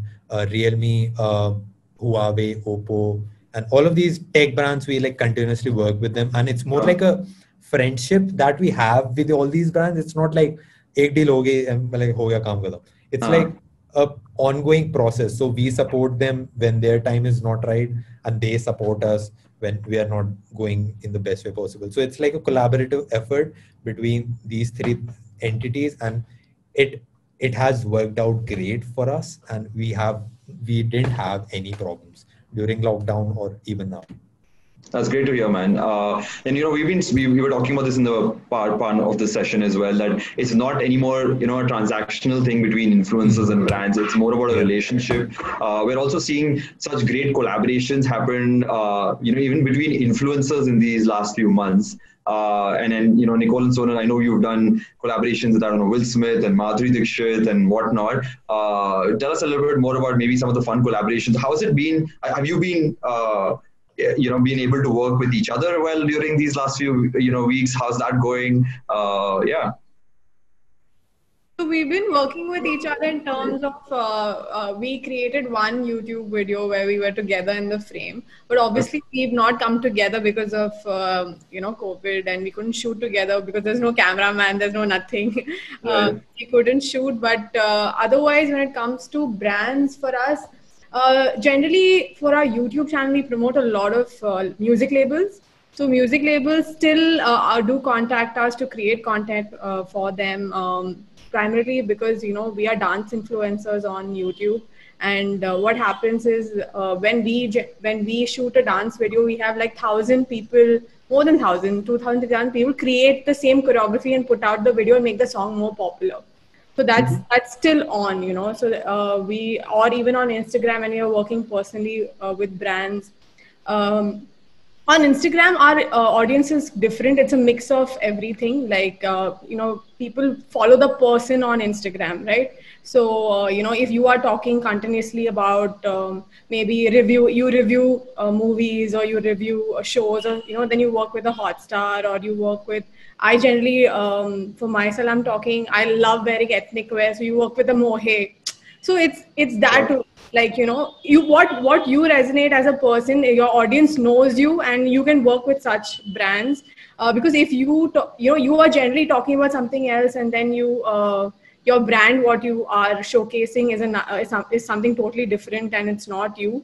People can easily point out and uh, catch you. So you know it's yeah. to be authentic as as Does much as happen though? I mean, you guys decline campaigns and brands because they don't like Why you know meet your personality or does that happen yeah. often? Yeah, yeah. Of course, definitely. like for sure, certain uh, certain brands they really want some very uh, uh, weird ass promotion methods where you hold the product like this and then take yeah. it. And you know it, it doesn't work most of the times. And also like for me, I would not personally promote any fairness creams or such things. So you would decline such brands. Cool. So we're gonna just say this, uh, and for all the brands who are listening, guys, give more control to the influencers. They will move needles for you far better than you know just uh, you know I don't know a, a, defined message to be delivered by influencers. I think those days were maybe what how celebrities on the television days, you know, they had a script and everything that followed. You guys are you know and and uh, you you guys are full like agency on your own, right? An individual itself is producing content, writing content, acting, doing everything together. So I think, and that's the beauty, right? That's what uh, our audiences uh, and your audiences really like you for because it's honest, it's real, and it's uh, it's coming without filters. Um, uh, you know, one of my next questions is is there's so much going on in the social media platforms itself, right? There is fleets coming out from Twitter. There is, you know, a new social media platform popping up every day. Uh, you know, of course, there's the whole opportunity with TikTok that's come in, and uh, you know, in a big way in the last uh, couple of years in India. Uh, you have primarily focused on your niche, YouTube, and now Instagram. How, how do you decide, uh, you know, what formats to kind of explore, not explore? Um, yeah, tell us a little bit about that uh, because there's so many influencers today who are wanting to, you know, figure this out, and I'm sure they'll learn a lot from your thoughts. So I think personally, uh, you make your choice, like where you want to be. I think Team Naach would be a huge success in TikTok. You know, they can they can move mountains in TikTok. I can't move a stone in TikTok, but I can move mountains in Twitter. So you know, based on what you do, you can choose the platform that uh, you want to be in. But the thing about beauty of YouTube generally is that uh, YouTube is like Google. It will be there. There can be so many other platforms that come and go, but it's going to be there forever. Yeah. So there is no replacement for Google in over the past 20 years. So YouTube will not, it's not going anywhere for another 20 years. It will be there. So when it comes to the platform, YouTube is permanent. And uh, as uh, you know, already Team Naach mentioned, uh, when it comes to YouTube, people will be more open to brand collaborations. When it comes to Instagram, it is very personal because when someone follows you, they follow to know about that particular person. So when a brand comes and says that uh, you have to you know show a particular product or say yeah they're selling this and they have a comment section you know right below there, people will give it back right at you because you know when people when we when you when someone calls us influencers, people are letting us influence them so it's a very personal thing. Uh, yeah. Probably uh, YouTuber, the biggest YouTuber in India can sell something more than the biggest actor in India because YouTube is very personal. Internet is very personal. The creator connects directly with the audience. So when it comes to this space, right, uh, the platform, YouTube, it's going to be constant, and any other platform, it's up to the creators of you know convenience, I guess, where they can promote and how they can promote ends up with the creator's hand. So, uh, Sonal, Nicole, are you guys uh, big on TikTok, and is that a big plan? And I, no, I, I have been active on TikTok since a while. Uh, the thing yeah. is with TikTok, it grows much faster than um, Instagram, like you know, uh, as a platform. But sure. I, but Instagram is a mo- the audience is totally different. I don't know how it works. Honestly, I've never figured it out but um, tiktok also uh, is a platform where people showcase anything and everything. So you have mm-hmm. like dance content you have fitness content you have even just random content. So you can't uh, pinpoint what works what doesn't work. Uh, as a as being mainly a dancer i have just put, been putting dance content on tiktok and that has been doing decently well. So planning to continue that only. Interesting Shlok, welcome back. Uh, I'm so sorry, my, my no, no, no worries. Decided uh, to restart all of a sudden. all of us face that. All of us face that.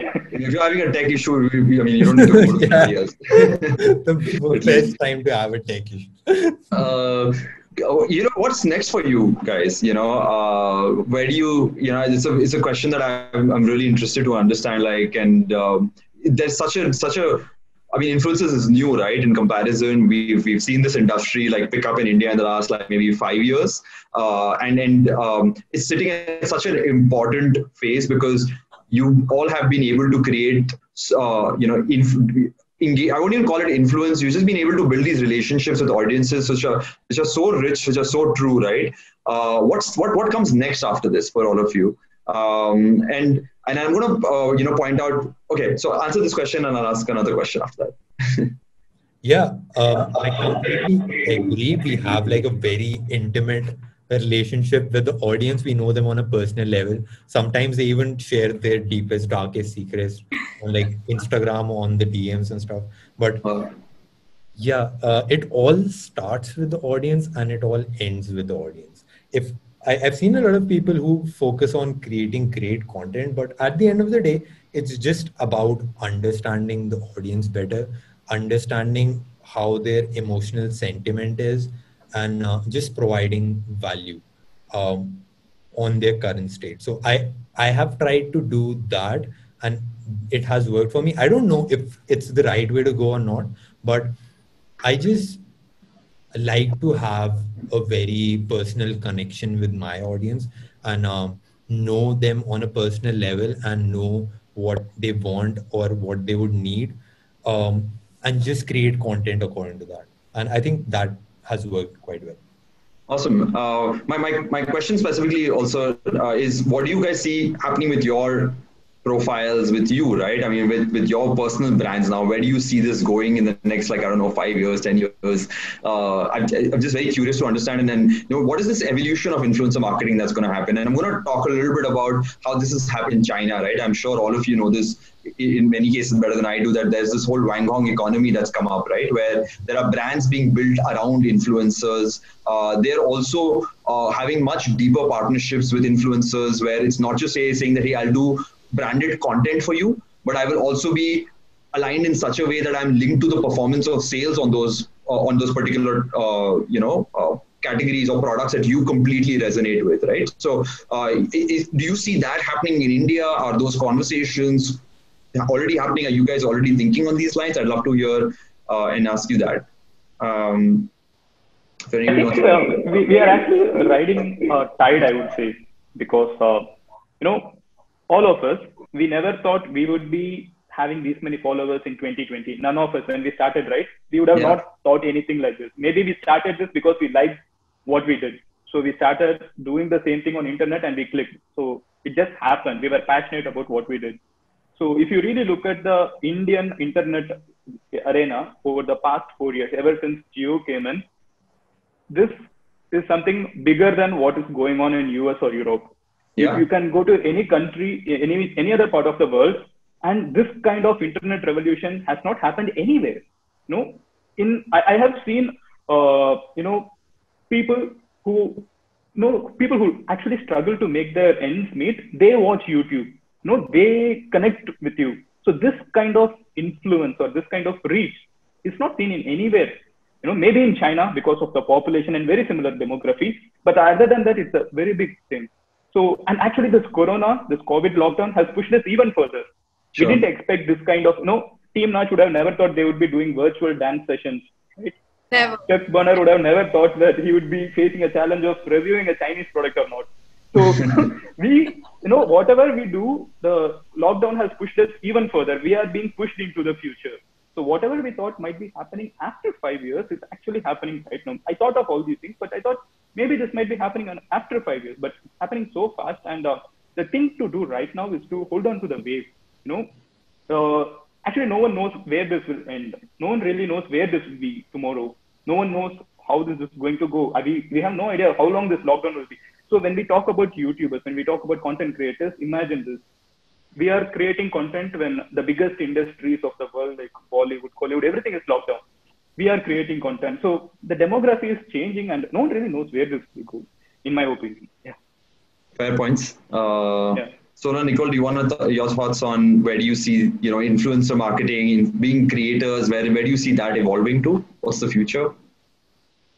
So I feel honestly that you know um, if you know if we are able to bring sales to a brand that we resonate with even if it's a small or big brand i look at it as a big positive so it yeah. for me it's um, it's like you know a target achieved you know uh, so many small brands also what we work with uh, you know even if we wear their clothes suddenly their sales increases a lot like a lot of they get a lot of queries oh we want to wear what nicole and sonal have worn in that dance video yeah. so it's gratification for us that we could help them out as well and it's like a win-win situation you know um, for us even when if you're working with bigger brands uh, it is nice that if we genuinely resonate with the brand and we really like the brand and we could add to their sales and marketing uh, I look look at it as um, a plus and a positive. That you know, also how much we can push to help the brand and how it's it's, it's kind of a fun challenge like um, and even for future i i um, you you said which, which, which is a country you said that uh, in china.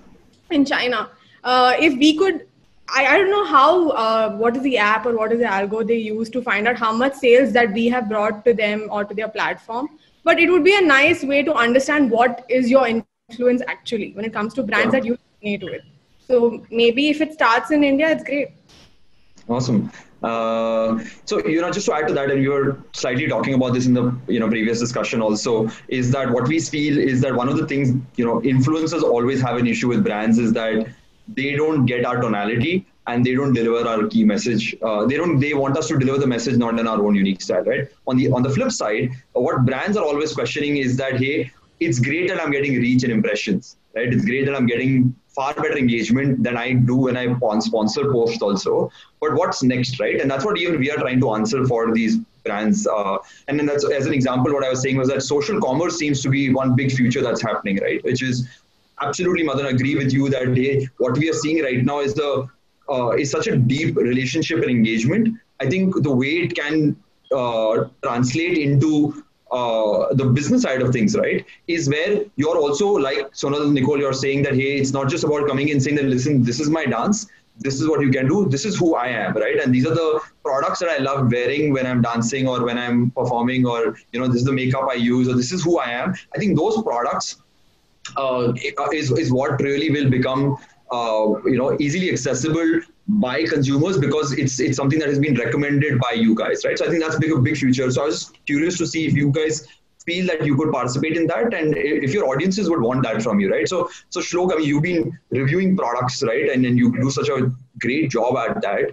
Uh, and and how, how do consumers now maybe consider buying the product from your website or from your e-commerce site right? Have you given that a thought or you, know, you see that? That's happening 100%, 100% yes. Of course because like we're in the tech field so we know like uh, our every video is about like we are actually selling a product. Yeah. whatever video we are creating content around products so we know how they impact sales and how the mentality works when they're buying a product. So um, the thing that you're talking about where the collaboration is not just like a video base it's like the influencer owns a part of the brand and uh, the brand collaborates or maybe creates a separate sub brand where the influencer is a part of that. And we have seen that in india with celebrities already like virat kohli has done with puma. Um, yeah. but I, am very sure that it's going to happen very soon uh, with influencers. But with influencers the thing is it's different because our word has a lot more value uh, as compared to actors or as compared to other people who just promote products blatantly. Because if we say we're using this product, the audience believes it.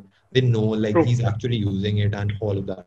And um, the connection is also a lot more intimate. So although we we do get the same views, but we have a lot more authenticity and a lot more power to say and that's what brands have been realizing during this lockdown period and uh, just like a few examples joe rogan's podcast just sold for 100 million uh, us dollars to um, spotify. And it, mm-hmm. it's just it's not even like he has fully sold it. He has just given rights to uh, exclusive rights to spotify to produce organic content. So that just and um, because of that uh, the spotify share rose to like 5 billion. So that just tells you like an 8 million channel has worth of 5 billion dollars for spotify. So we that is what brands are realizing right now. And we'll see that in the near future. And i personally i like creating my own brands. And we have been working on creating applications and products for people that are indian made and it has worked super well. I've been in love with the process of creating stuff So yeah. awesome, man. Thanks uh, for sharing that. Um, Madan, I, one of the questions I had for you was that I know you do a lot of your content in Tamil, right? Uh, yeah. Are you seeing the emergence of these newer platforms, which are you know regional platforms, and uh, you know uh, there's ShareChat, there's Helo. Are you are you exploring those channels as well? And you see that there is a new uh, you know a wave of, of new users that are coming onto social media as well, uh, who have not necessarily been on YouTube for the last maybe you know five ten years as well. So uh, your thoughts on that? Oh, something funny happened since you asked this. I can tell. Uh, yeah. Someone messaged me recently on Instagram saying that, uh, Madan, your ShareChat is so cool. Your account is so cool, and I don't have a ShareChat account. So I was like, oh. wait, okay, let me let me check what is going on in ShareChat, and that seems to be a profile with my face, with my name, that has like four lakh followers.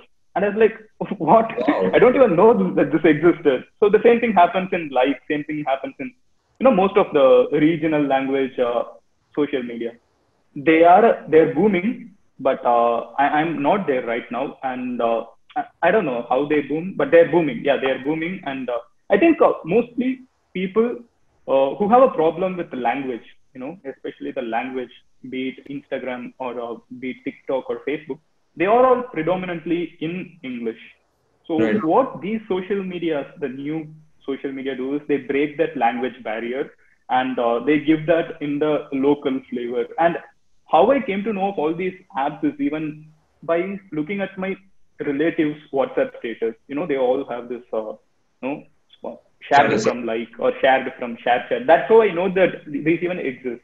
So that's how the influence is. It is targeting people who are in 40s and people who have a problem with language and the people who want to you know send whatsapp forwards you know it's mostly the adult in india that audience or the target market and i think it, it must be happening in hindi too i guess yeah Awesome. So sorry, I'm curious to know. So who, this person who created uh, your account on on. ShareChat was this? They were also posting your content over there.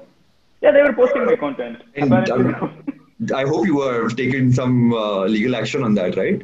no, no, no. I didn't take any action. As long as people watch my content, I don't really mind. They will come to YouTube someday. They will find me.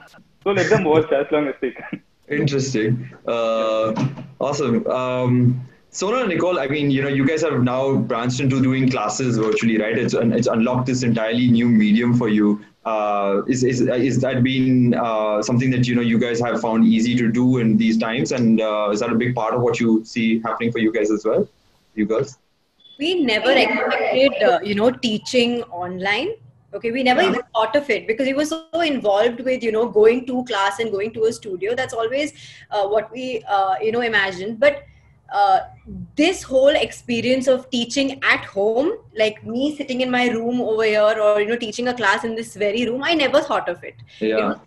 and to have students joining from across the world okay there are girls so our students are uh, predominantly women okay and there are women joining from all across the world dancing together and it's it's some kind of content that you have created and posted on youtube or on instagram. And you know to just see everyone wanting to come together and dance it's been beautiful. And i think it's something that we will continue doing even post whenever this pandemic ever gets over. We will continue doing it because uh, it's it's a great platform to you know in, i mean interact with students. The only time we've interacted with students outside mumbai is when we have traveled for workshops mm-hmm. and that's something that's taken a hit obviously because we can no longer travel and we've had to cancel our workshops and stuff like that. But uh, it's great. You can now do this. It's in your own house. So it's and, I, am telling you this from experience, right? I was telling you earlier that I mean, my wife and I, and my, my wife's American, so she likes Bollywood music and you know likes to dance to that. So we've actually uh, you know put, put it up and, and, done dance workout sessions to to your content, and you know it's, it's opening up such a you know uh, new way of engaging, and I think that's probably one of the most exciting positives that have come out of lockdown. Where uh, there's just so much time right? And so you can choose how to use that time to do things which earlier lost in traffic or just in you know, I don't know, things, you know, I don't know, getting ready to go outside, you know, you can do panel discussions in boxer shorts these days. It's a lot, comf- it's a lot easier. Uh, I think, uh, you know, and that's, that's been one of the nicest things that's come out. Uh, you know, uh, I, one of the other things, and I, and I, and I see it around me a lot is that influencers like all of you have really also stepped out in these last three months and used your influence for positive good uh, you know, and uh, you know, we call it chatter for good in at, at Chtrbox. But uh, how, how do you see you know that happening? It's that cliche Spider-Man quote, which is with more responsibility, uh, sorry, with more power and influence comes responsibility. So you know, I'd love to hear a little bit more about your stories in the last couple of months. If you know, if you guys have seen yourselves or influencers around you participate in something uh, to you know uh, help charities, NGOs, anything of that sort. I know, Madan, you do a lot of social right? Sorry, one second. Okay. we were. I, I, thought you were turning the panel discussion into a, a dance workshop for us.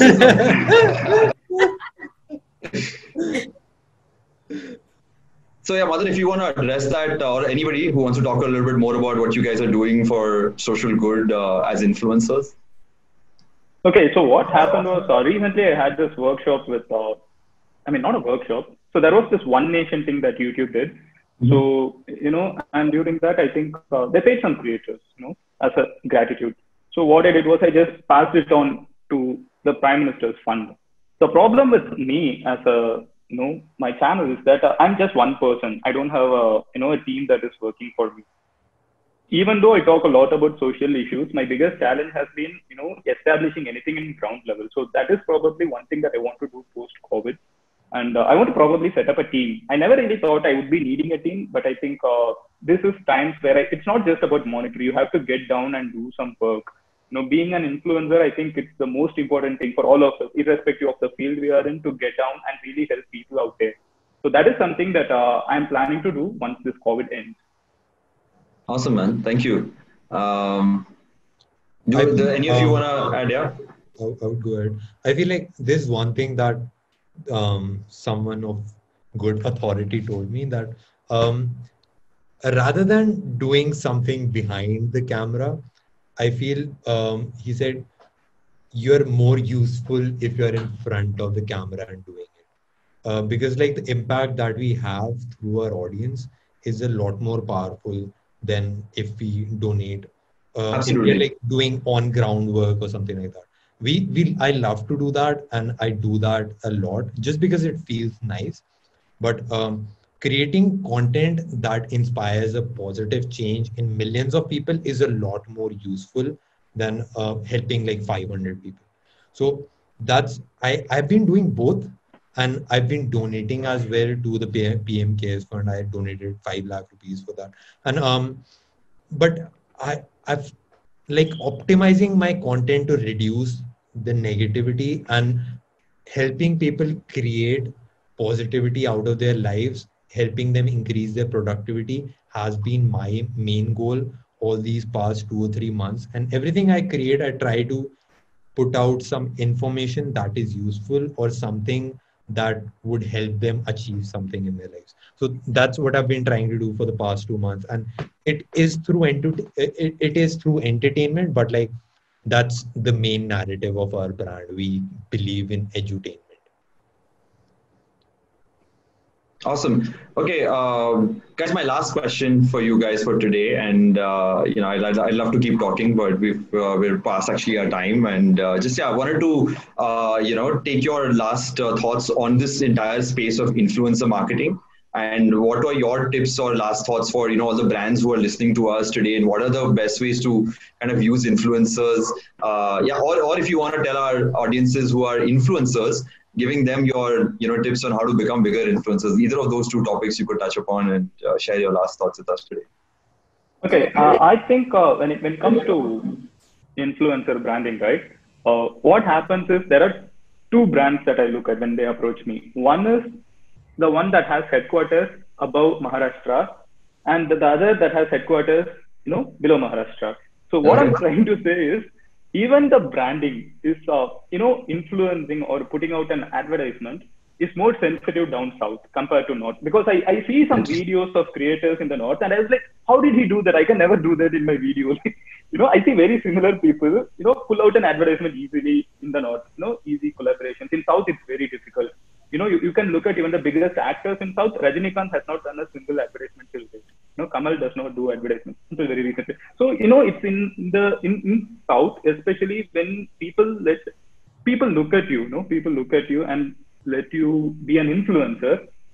It is really challenging to put an influential advertisement or a brand collaboration. So that's one thing.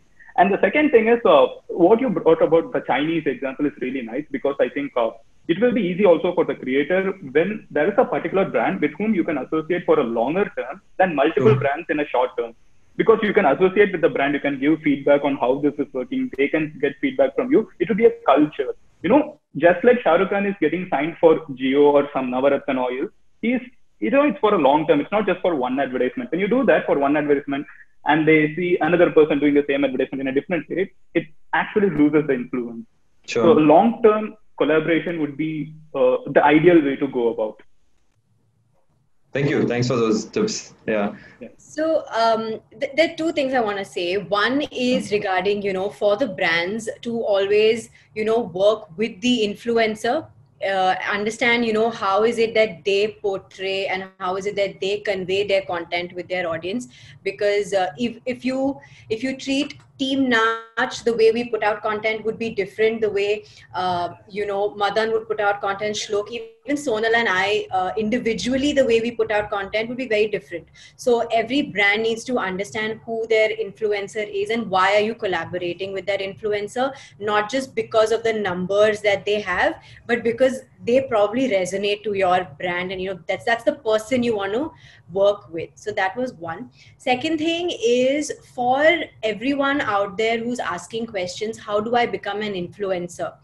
Sure. And uh, I Which is also me. huh? I also want to become one. So I'm also yeah asking. so, so, I'll, I'll tell you something very honestly um, Naach, N- team Naach started six years ago and before that i used to work in pr and it was digital pr and i used to manage bloggers and influencers and i was one of those people who would get in touch with the bloggers and influencers and be like you know this is the brand and we, they want you to do this obviously then too i always wondered ki, gosh i was an influencer and because that time it was all about getting free stuff right Mhm.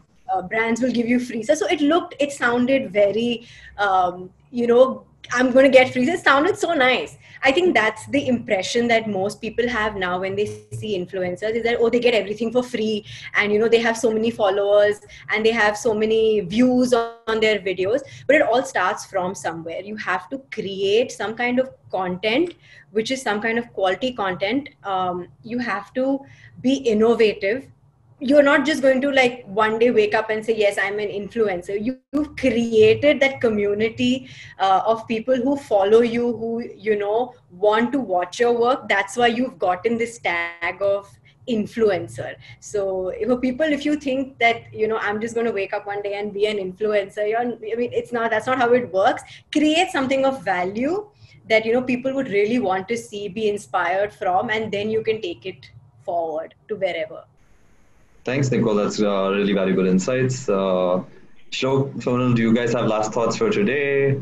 So, uh, when it comes to being an influencer and all that, for people who want to get into social media and want to, uh, I think the number one reason everyone gets into social media is because they want to put out, put their work out there. Like they want people to see what they do, right? And I've seen like on TikTok, I'm seeing like people from small villages. They are they have like two million followers because they're putting amazing either dance videos or content videos, and it's genuinely good. You know Yeah. uh, it doesn't matter where you're from or what your financial background is. Anyone who has genuine talent uh, and also consistency and hard work, they can become an influencer.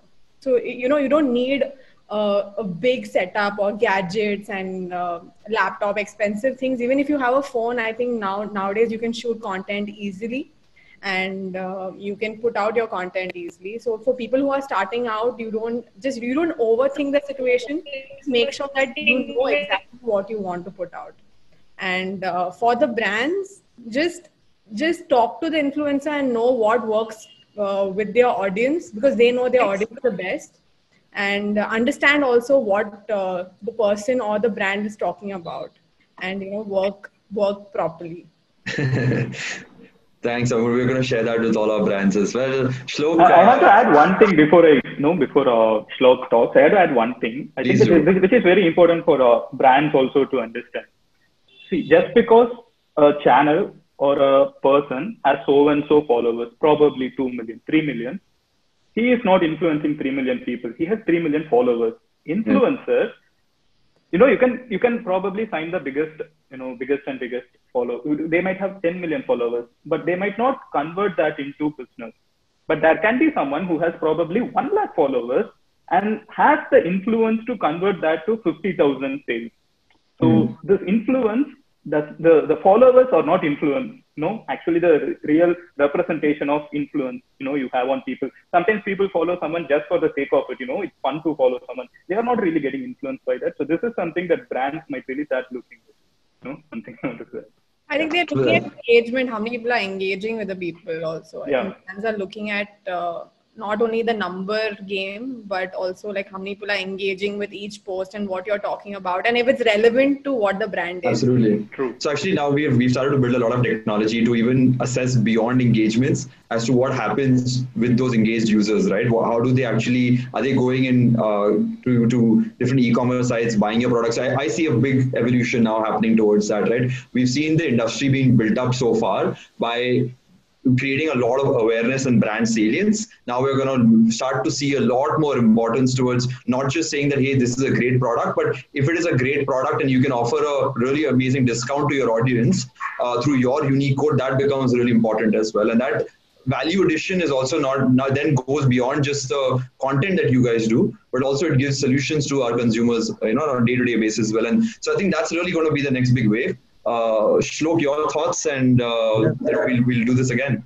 Yeah, sure, 100%. What I feel is uh, for the brands, choosing the right influencer is the best way to go. And sometimes, just like Madan and just like Sonal said, it's not about the views, it's not about the subscribers, it's not about the numbers. Sometimes a person who has thousand views or thousand followers is a lot better influencer than someone who has 10 million followers. If you want to sell $1 million car or uh, something like a bungalow, then targeting someone who has an audience that is not catering for that is not the right way to go. If you're, you would be better off like um, asking Vijay Mallya to promote it to his friends if he promotes it to like 50 of his friends. I don't know Vijay Mallya, but sure. Yeah, I get your maybe not Vijay Mallya, but like, but like, I'm just giving an example. Just people who have money are the best way to go for that type of deal. So just like that, every brand has to know what influencer is right for them. He might not have the subscribers, but he will be able to create the impact that you desire. And then just let the influencer take over because a good influencer knows how to sell. He will just do the job very well. you guys are rock stars, and thank you so much for you know joining us here. Uh, we really look forward to you know talking to you more about these topics. And take care. Uh, to the audience, thank you for joining us. Uh, Khyati, do you want to say bye to folks and anything? Yes. In fact, I just wanted to check if uh, we can take another five minutes because we've got over sixty questions in our Q&A oh, please, box. Yes from our audience who all are uh, wanting to know the tips and tricks on how to become a better influencer. So um, there are some very basic questions also. So let's begin with that, and any one of you can take over that question. Uh, somebody is asking something super basic, like, is it necessary to have a theme for the feed? Do you think like designing your feed is something that's important? I don't know who over here, who over here has a has a very well themed feed um, we for sure don't have any theme on our feeds because we post whatever we like. So if today i feel like posting a picture or a video or whatever i will post that and it doesn't have to be color coordinated or themed on my profile. I don't know about the rest of you. Honestly i think it depends on uh, a person. Like some people care about what their feed exactly looks like and some people are super artistic about it. Like i've, seen, I've seen some people's feeds look amazing. Like you know full aesthetic feed and you know it's it's a talent to do that. So people who like to do it great. But we like it takes a lot of time and effort to just create an aesthetic feed. So i feel that for us i don't think it's the most important thing. But if you are uh, if you enjoy doing it and you want to do it you should be doing it. Yeah. Okay. Great. Like there's so, so much noise, you can't really create something that is very original. There's someone who has done it a lot better than you. I think it's all about sending a message or just aligning your brand values with your mm-hmm. content and that's just how it works if, if if you are able to send a message to each and every post you will automatically have a feed that connects with the audience and that's just it's not about the colors it's not about like how it looks and all of that it's just about the emotional connect that the feed has you know and, and uh, sorry just to add to that so many brands don't get this either and that's what we keep telling them that hey run your facebook or you know instagram pages like how influencers do.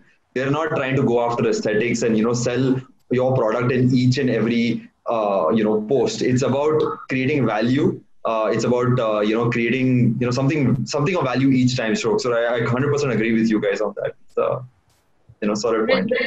I'm gonna take just like one last question from here because i see a lot of comments and uh, similar questions have also come in. So uh, this quick question is which is more important the on the feed? Is it the quantity of the uh, feed or the quality in the beginning at least when they're starting out? So because i see like uh, madan you do a video every day while some of them do it like once a week or once uh, fortnightly. So how it is when they're just starting out uh, so I, I, actually made a video yesterday. What sells in India? So I was just discussing about this Chinese boycott. So yeah. boycott China, but still probably all of us have Chinese goods in our home, and probably we'll have it even after a week or two.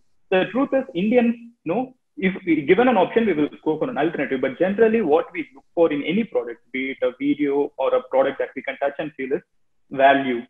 You know, it really doesn't matter how often you give the product or uh, how uh, how many gaps do you have between uh, you know, each product. So what really matters is if someone is going to give you 10 minutes of their time, is that content is worth that 10 minutes? Will you watch it? So that's one thing I always follow. If I'm making a video, I always try to put something interesting in that video that I would be interested in watching. And I know the good thing about all of us here is that uh, our audiences are very similar to us. So that's why when an influencer sells something or shows something, they buy it because you know you will buy it. So the people you easily. So I think uh, what really matters is value. If you can give value to the audience, be it even one hour, if you can give value to audience every one hour, you can do it. Or if you think you can give value to an audience only once in a year, do that. So it's all up to you know the value that you give to the audience. Right but uh, okay the, again just reframing that question for all of you. Uh, what if they don't have that audience and they're trying to build that audience right now? They are building that community that will follow them uh, eventually. So during that time what is more important? Do you have like a consistent they need to consistently post quality content. Hmm. like you know you if you are if you are able to create good quality content every day then great. If you then you can post every day or then if you can create once in 10 days or once in a week it's up to you what you are you know able to do. But make sure it is good and you know it adds value to uh, people who are watching it. Because if you put five videos which don't make sense person is not going to watch the sixth video for sure. So make right. sure each post you do you have put uh, put some kind of thought process into it and it makes sense to uh, the viewer. So consistently posting good content is important for people who are starting out yeah, I think one advantage that uh, people have, you know, or we had over uh, the creators who are getting into you know the space now is that we didn't have much of a competition when we got in compared to the competition right now. Today, every mom in Indian household is a YouTuber. You know, they shoot something, they cook something, they put it on it, and you compete with everything. You know, a create uh, uh someone gets on YouTube has an option to click on uh, watch how a grandma cooks probably 30 lambs and also to watch a tech video. So you know, everyone is a competition. So I would I would probably say I'm not really good in giving an answer to this. So I would pass on. Shlok, you were saying something. Yeah, I, I feel like initially you just have to pretend like you have like thousand people watching and you're like, hey guys, what is up? And there's like this one viewer, that's your mom. But like that's just how it ha- it is initially. You just try to provide the most value consistently and it's I, I don't think um, you just need to pump out videos you if even if you create like one video a week that is good and you're improving on the videos and providing value i think that works but like i, I think it's more about the passion with which you're creating content and not just like if, if you're just disappointed that you're not getting views and then you're creating a video, it won't work. You have right. to be like pretend that this is going to be the next viral hit and create right. that. So, in fact, I'll just add on to that point because you mentioned that that somebody like a lot of people had the same question on how did you guys become influencers? Like, did you already have a set of following, or how did that build up? Did you pretend and be like, you know, i I am being watched and now I'm gonna just be like this person who's influencing or creating amazing content? How did you build on that community? I'll add to that. If you remember, what was your first post as an influencer or on these channels at least? For me, it's crazy. I, I, I, what you think of it now? I made my first video to apologize to my ex-girlfriend. So oh, my story is completely different. So that's why I became a YouTuber. Suddenly, people started watching. I was like, "Oh my god, people are watching my apology to someone." Did she at least forgive you? Uh, Sorry. Did she at least forgive you? oh no, the she did not watch the video for a long time. Before she watched the video, I already had a one lakh subscribers. Wow. doing what I did. Wow. That's a unique case. What about you guys? On YouTube, I think uh, one of uh, I really don't remember exactly which is the first video because we initially started putting content on YouTube as a place to document, uh, like you know, like a Google Drive, you know, just to put okay. the content. Because we used to start off with Facebook. We had started off with Facebook to promote our videos to people who we know and you know our college students but i i don't remember it was a set of videos from class basically that was um, we just put a camera on the side and we just shot all our students and us dancing routines so that was our first few posts on the internet wow. but it was not an apology to the girlfriend but that was interesting right. Was always so interesting. I i just randomly created a video in my college. I didn't have a mobile so i borrowed it from my friend and uh, i didn't have a stand. So i just put up an underwear and put my phone just under it and just used it as a stand and it worked. Nobody knew. So it's like it's still up on the channel. Now they do. I watch it. I know how it's shot but like nobody else does right I think as okay. creators, we become extremely creative in how we want to shoot our content also because we are only the director, producer, art department, everything. Yeah. So we manage some way or the other. This is something I have heard of for the first time. And so you're gonna get a new underwear brand now coming to you guys to come to you for an endorsement. Uh, for and I think a lot of people from here, Pranay, are gonna go back and check Shlok's first video, which was shot like that. They're going to go back and see how it was. so, okay, very quickly, this is going to be last question for Team Naach. It is specifically for you guys. Uh, Lakshmi here is asking, can you please talk about the copyright issues faced during dance videos on Instagram and YouTube?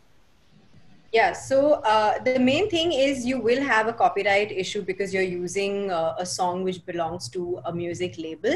Uh, your only way around that, and that's what's worked for us, is we make sure that our videos are not monetized uh, because you cannot earn money when. Um, you know you're using someone else's music. I mean that's at least how it works here unfortunately. So whenever people think that oh my god you know you have so many million views you're earning so much that's not at all the case my dears. We are not uh, that's not not possible. So uh, so that you do not get a copyright issue just make sure that your video is not monetized. Okay. And that's the same for instagram as well? Uh, instagram we haven't yeah no, you don't monetize but uh, instagram automatically takes down certain uh, songs like uh, certain songs they don't even let you upload it directly. At least on youtube they let you upload it and then they take it down. Instagram don't let you upload. So it's um, working working around copyright is basically you don't monetize it. That's it. Okay. Okay. So um, okay, this is going to be the last one. It's an anonymous attendee which says, Isn't the interest of consumers being affected negatively? Because nowadays influencers keep endorsing brands for money. Mm-hmm. Now, the negative side of it, do you want to like comment on it? Oh, that's what exactly I said. Uh, you know, at least as far as I have seen the, this panel, I have followed them, and uh, personally, even I myself, no, we don't do random you know, brands just for the sake of doing it. I think that's how you become an influencer. By doing random brands, you become yet another person. To be a real influencer, you have to be very choosy about what you do, and I think Yeah. uh, it all comes down to you know one's personal choice. If you would really buy this, tell that. If you won't do it, just don't do it. Simple. Yeah, so I mean, there's there's been a lot of debate on um, how uh, the government will also play its own role in being able to, uh, you know, monetize, uh, monitor some of the content influencers are talking about as well. So, like in in in Western in other countries, you have to declare that this is a sponsored co- content piece. It's not happened so far in it. There have been conversations about that happening, but I think in, in all the work that you know we do with influencers and these influencers that we see around, I think uh, you want to make sure that you're offering quality and value to your audience. I don't think there should be any concern there, but there could be exaggeration, right? We've seen that in advertising across. So that's important for, you know, it's important to contain. I think influencers are most cautious about this because if they're going to exaggerate, it's going to affect their reputation. And that does not, you know, no money can buy that. So I think that's really where brands also, you know, uh, influencers also trust, you know, a review or, a, or, or an endorsement that has been done on influencer because there is a high level of, uh, you know, uh, uh, monitor or, or authenticity or, or you know that, that has been brought to that content itself Right. Absolutely. Okay. Uh, can we take another one more? Just came in. Are you guys okay with that? It's a quick one. Uh, I'm not sure if any of you do podcast, uh, but it's a question about YouTube versus podcast. And does podcast have any value? Do you see it like it becoming the new YouTube and audio content? Oh, it's, uh, it's, it's just like uh, radio and no cinema. Both have to exist parallelly. And Shlok, yeah. I feel like at the end of the day, we just find different venues to reach the audience. The audience is like the main goal. So YouTube is just like a medium to reach there. And each medium is a little bit different. Post podcasts are a little bit different. YouTube is a lot more visual. Twitter is like textual. But like at the end of the day, we're trying to reach an audience, and that's what the main goal is. So we are we'll adapt. If YouTube is no longer there, we'll find some way if if podcasts start working we'll do podcasts i know like youtubers are willing to adapt and we have seen that during this covid phase Yeah. All right. Uh, Pranay, you want to sum it up? Then I can say thank you. Oh, um, you know, this has been such a overall such a great conversation to have had with uh, you know all the panelists that we've had today. Uh, they're all individually coming from such rich, diverse experiences, and I'm so glad that we were able to. And I hope the audiences got something from this. Uh, we will be this entire video, this live video that you have watched, will also be available later on. So in case uh, you want to watch it or share it, or you missed a certain part of the discussion earlier, you can always do that. Uh, thanks, uh, exchange4media, for organizing and having all of us here. And yeah, that's that's all. Thank you, everyone. Thank you, Sonal, Shlok, uh, Madan, and Nicole, uh, and everyone earlier. Uh, you know, Kubra, uh, Minnie, uh, Nishan. Thank you, thank you for you know joining us. Thank you, Pranay, for inviting us. Thank you. Thank it was a great super awesome talking to all of you Thank guys. you, I everybody. learned this from influencers. All right, we could all do this as an ending note. Thank you, guys. We all love you. There are about 100 Q and A's on that. Thank you so much. And to all of you, like Pranay mentioned, the video will be available on Facebook on exchange4media page. If you want to revisit, to rewatch it, go ahead and do that. Uh, if you want to comment about it on Twitter, our hashtag is E4M webinar and uh, hashtag E4M content jam. And of course, go and follow all these amazing influencers. Learn. I think watching their content is going to be a good learning experience as well. So thank you so much, everybody. This is me, Khyati Gawa, signing off. Thank you and have a good day. Thanks. Bye. Thank you, everyone. Bye.